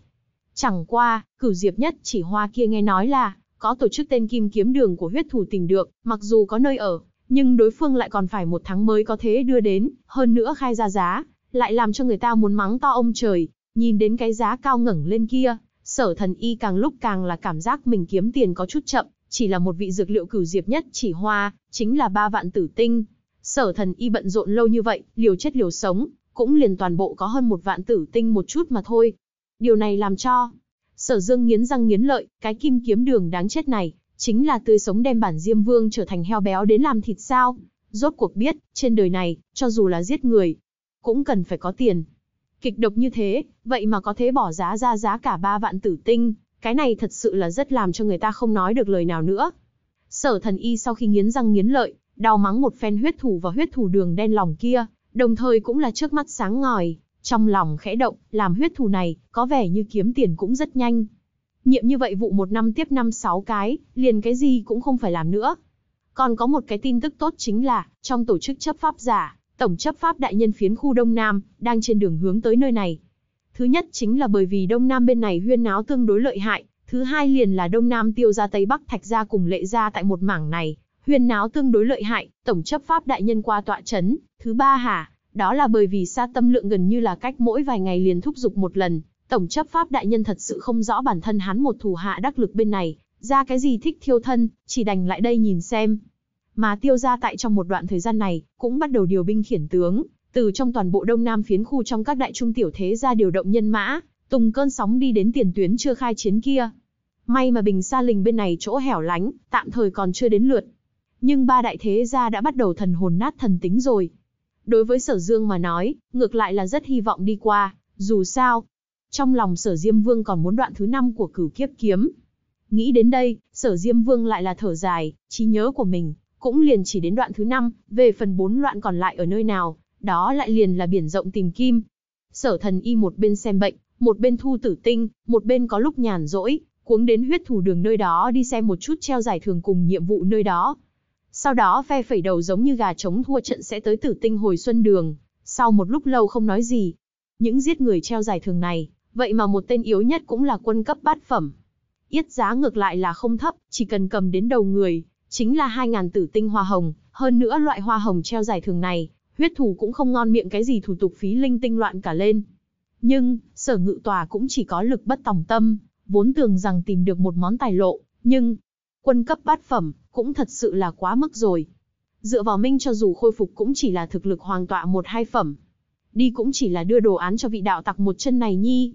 Nếu là kiếm linh ra tay, đương nhiên không thành vấn đề, nhưng tu vi của mình khôi phục nếu lại để cho kiếm linh ra tay. Giống như nói cái gì? Thực lực của mình khi nào mới có thể táng lên? Hơn nữa mới 2.000 khối tử tinh. Ít như vậy. Thì ra muốn làm huyết thủ. Cũng cần thực lực siêu mạnh. Thở dài là thở dài, nhưng sở ngự tỏa vẫn là trả 100 khối tử tinh, đem toàn bộ treo giải thưởng của huyết thù đều cầm một phần trở về, lúc không có việc gì, coi như phố cập khoa học. Dù sao trên đó, lại tất cả đều là gia hỏa cùng hung cực ác, nếu là gặp gỡ, Minh đánh không lại là một chuyện, nhưng sau khi nhận rõ người kịp thời trốn chạy, coi như là giá trị về giá cái tin tức này. Hơn nữa, nếu là vận khí tốt, nói không chừng gặp một tên chết khiếp, một đao chém roi đầu có thể kiếm tử tinh. Ừm, sở dương muốn phá lệ tự sướng. Bổn tọa hướng tới là phòng ngừa chu đáo. Trong khoảng thời gian này, sở phi long ngược lại là không chút động tĩnh.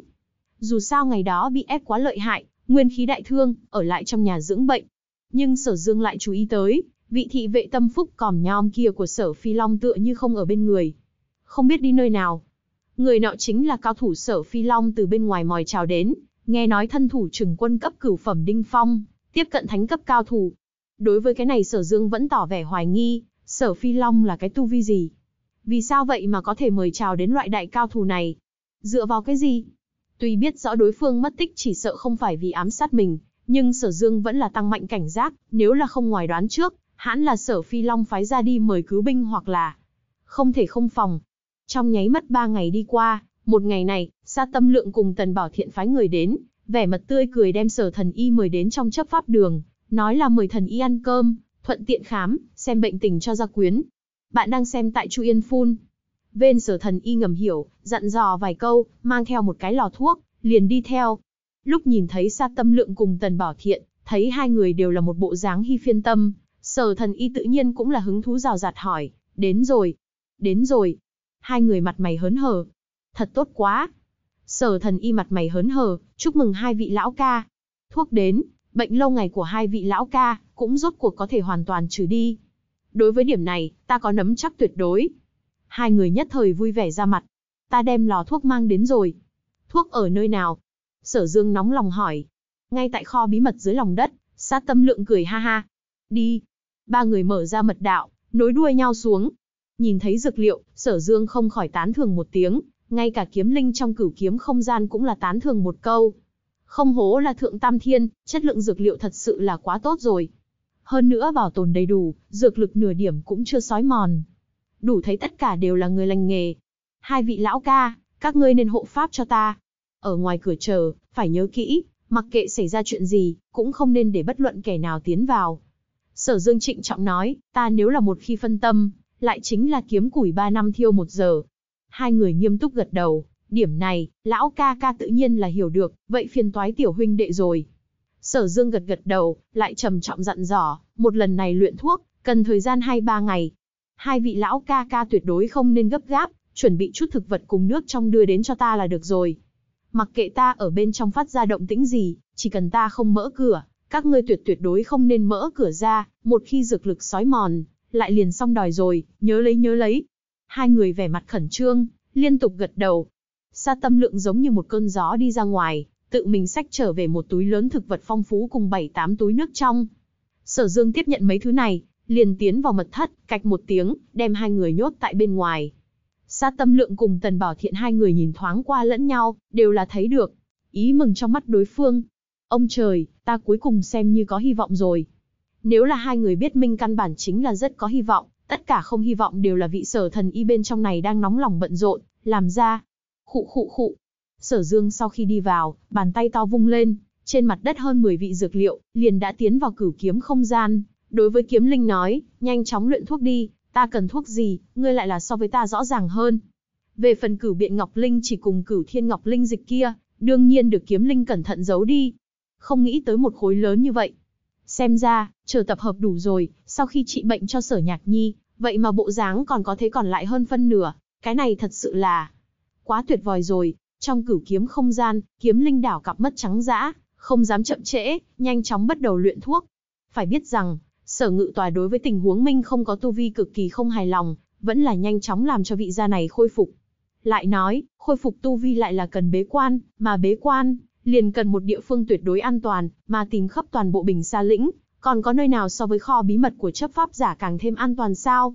Huống chỉ ngoài cửa còn có hai vị đại cao thủ đang liều mạng hộ pháp,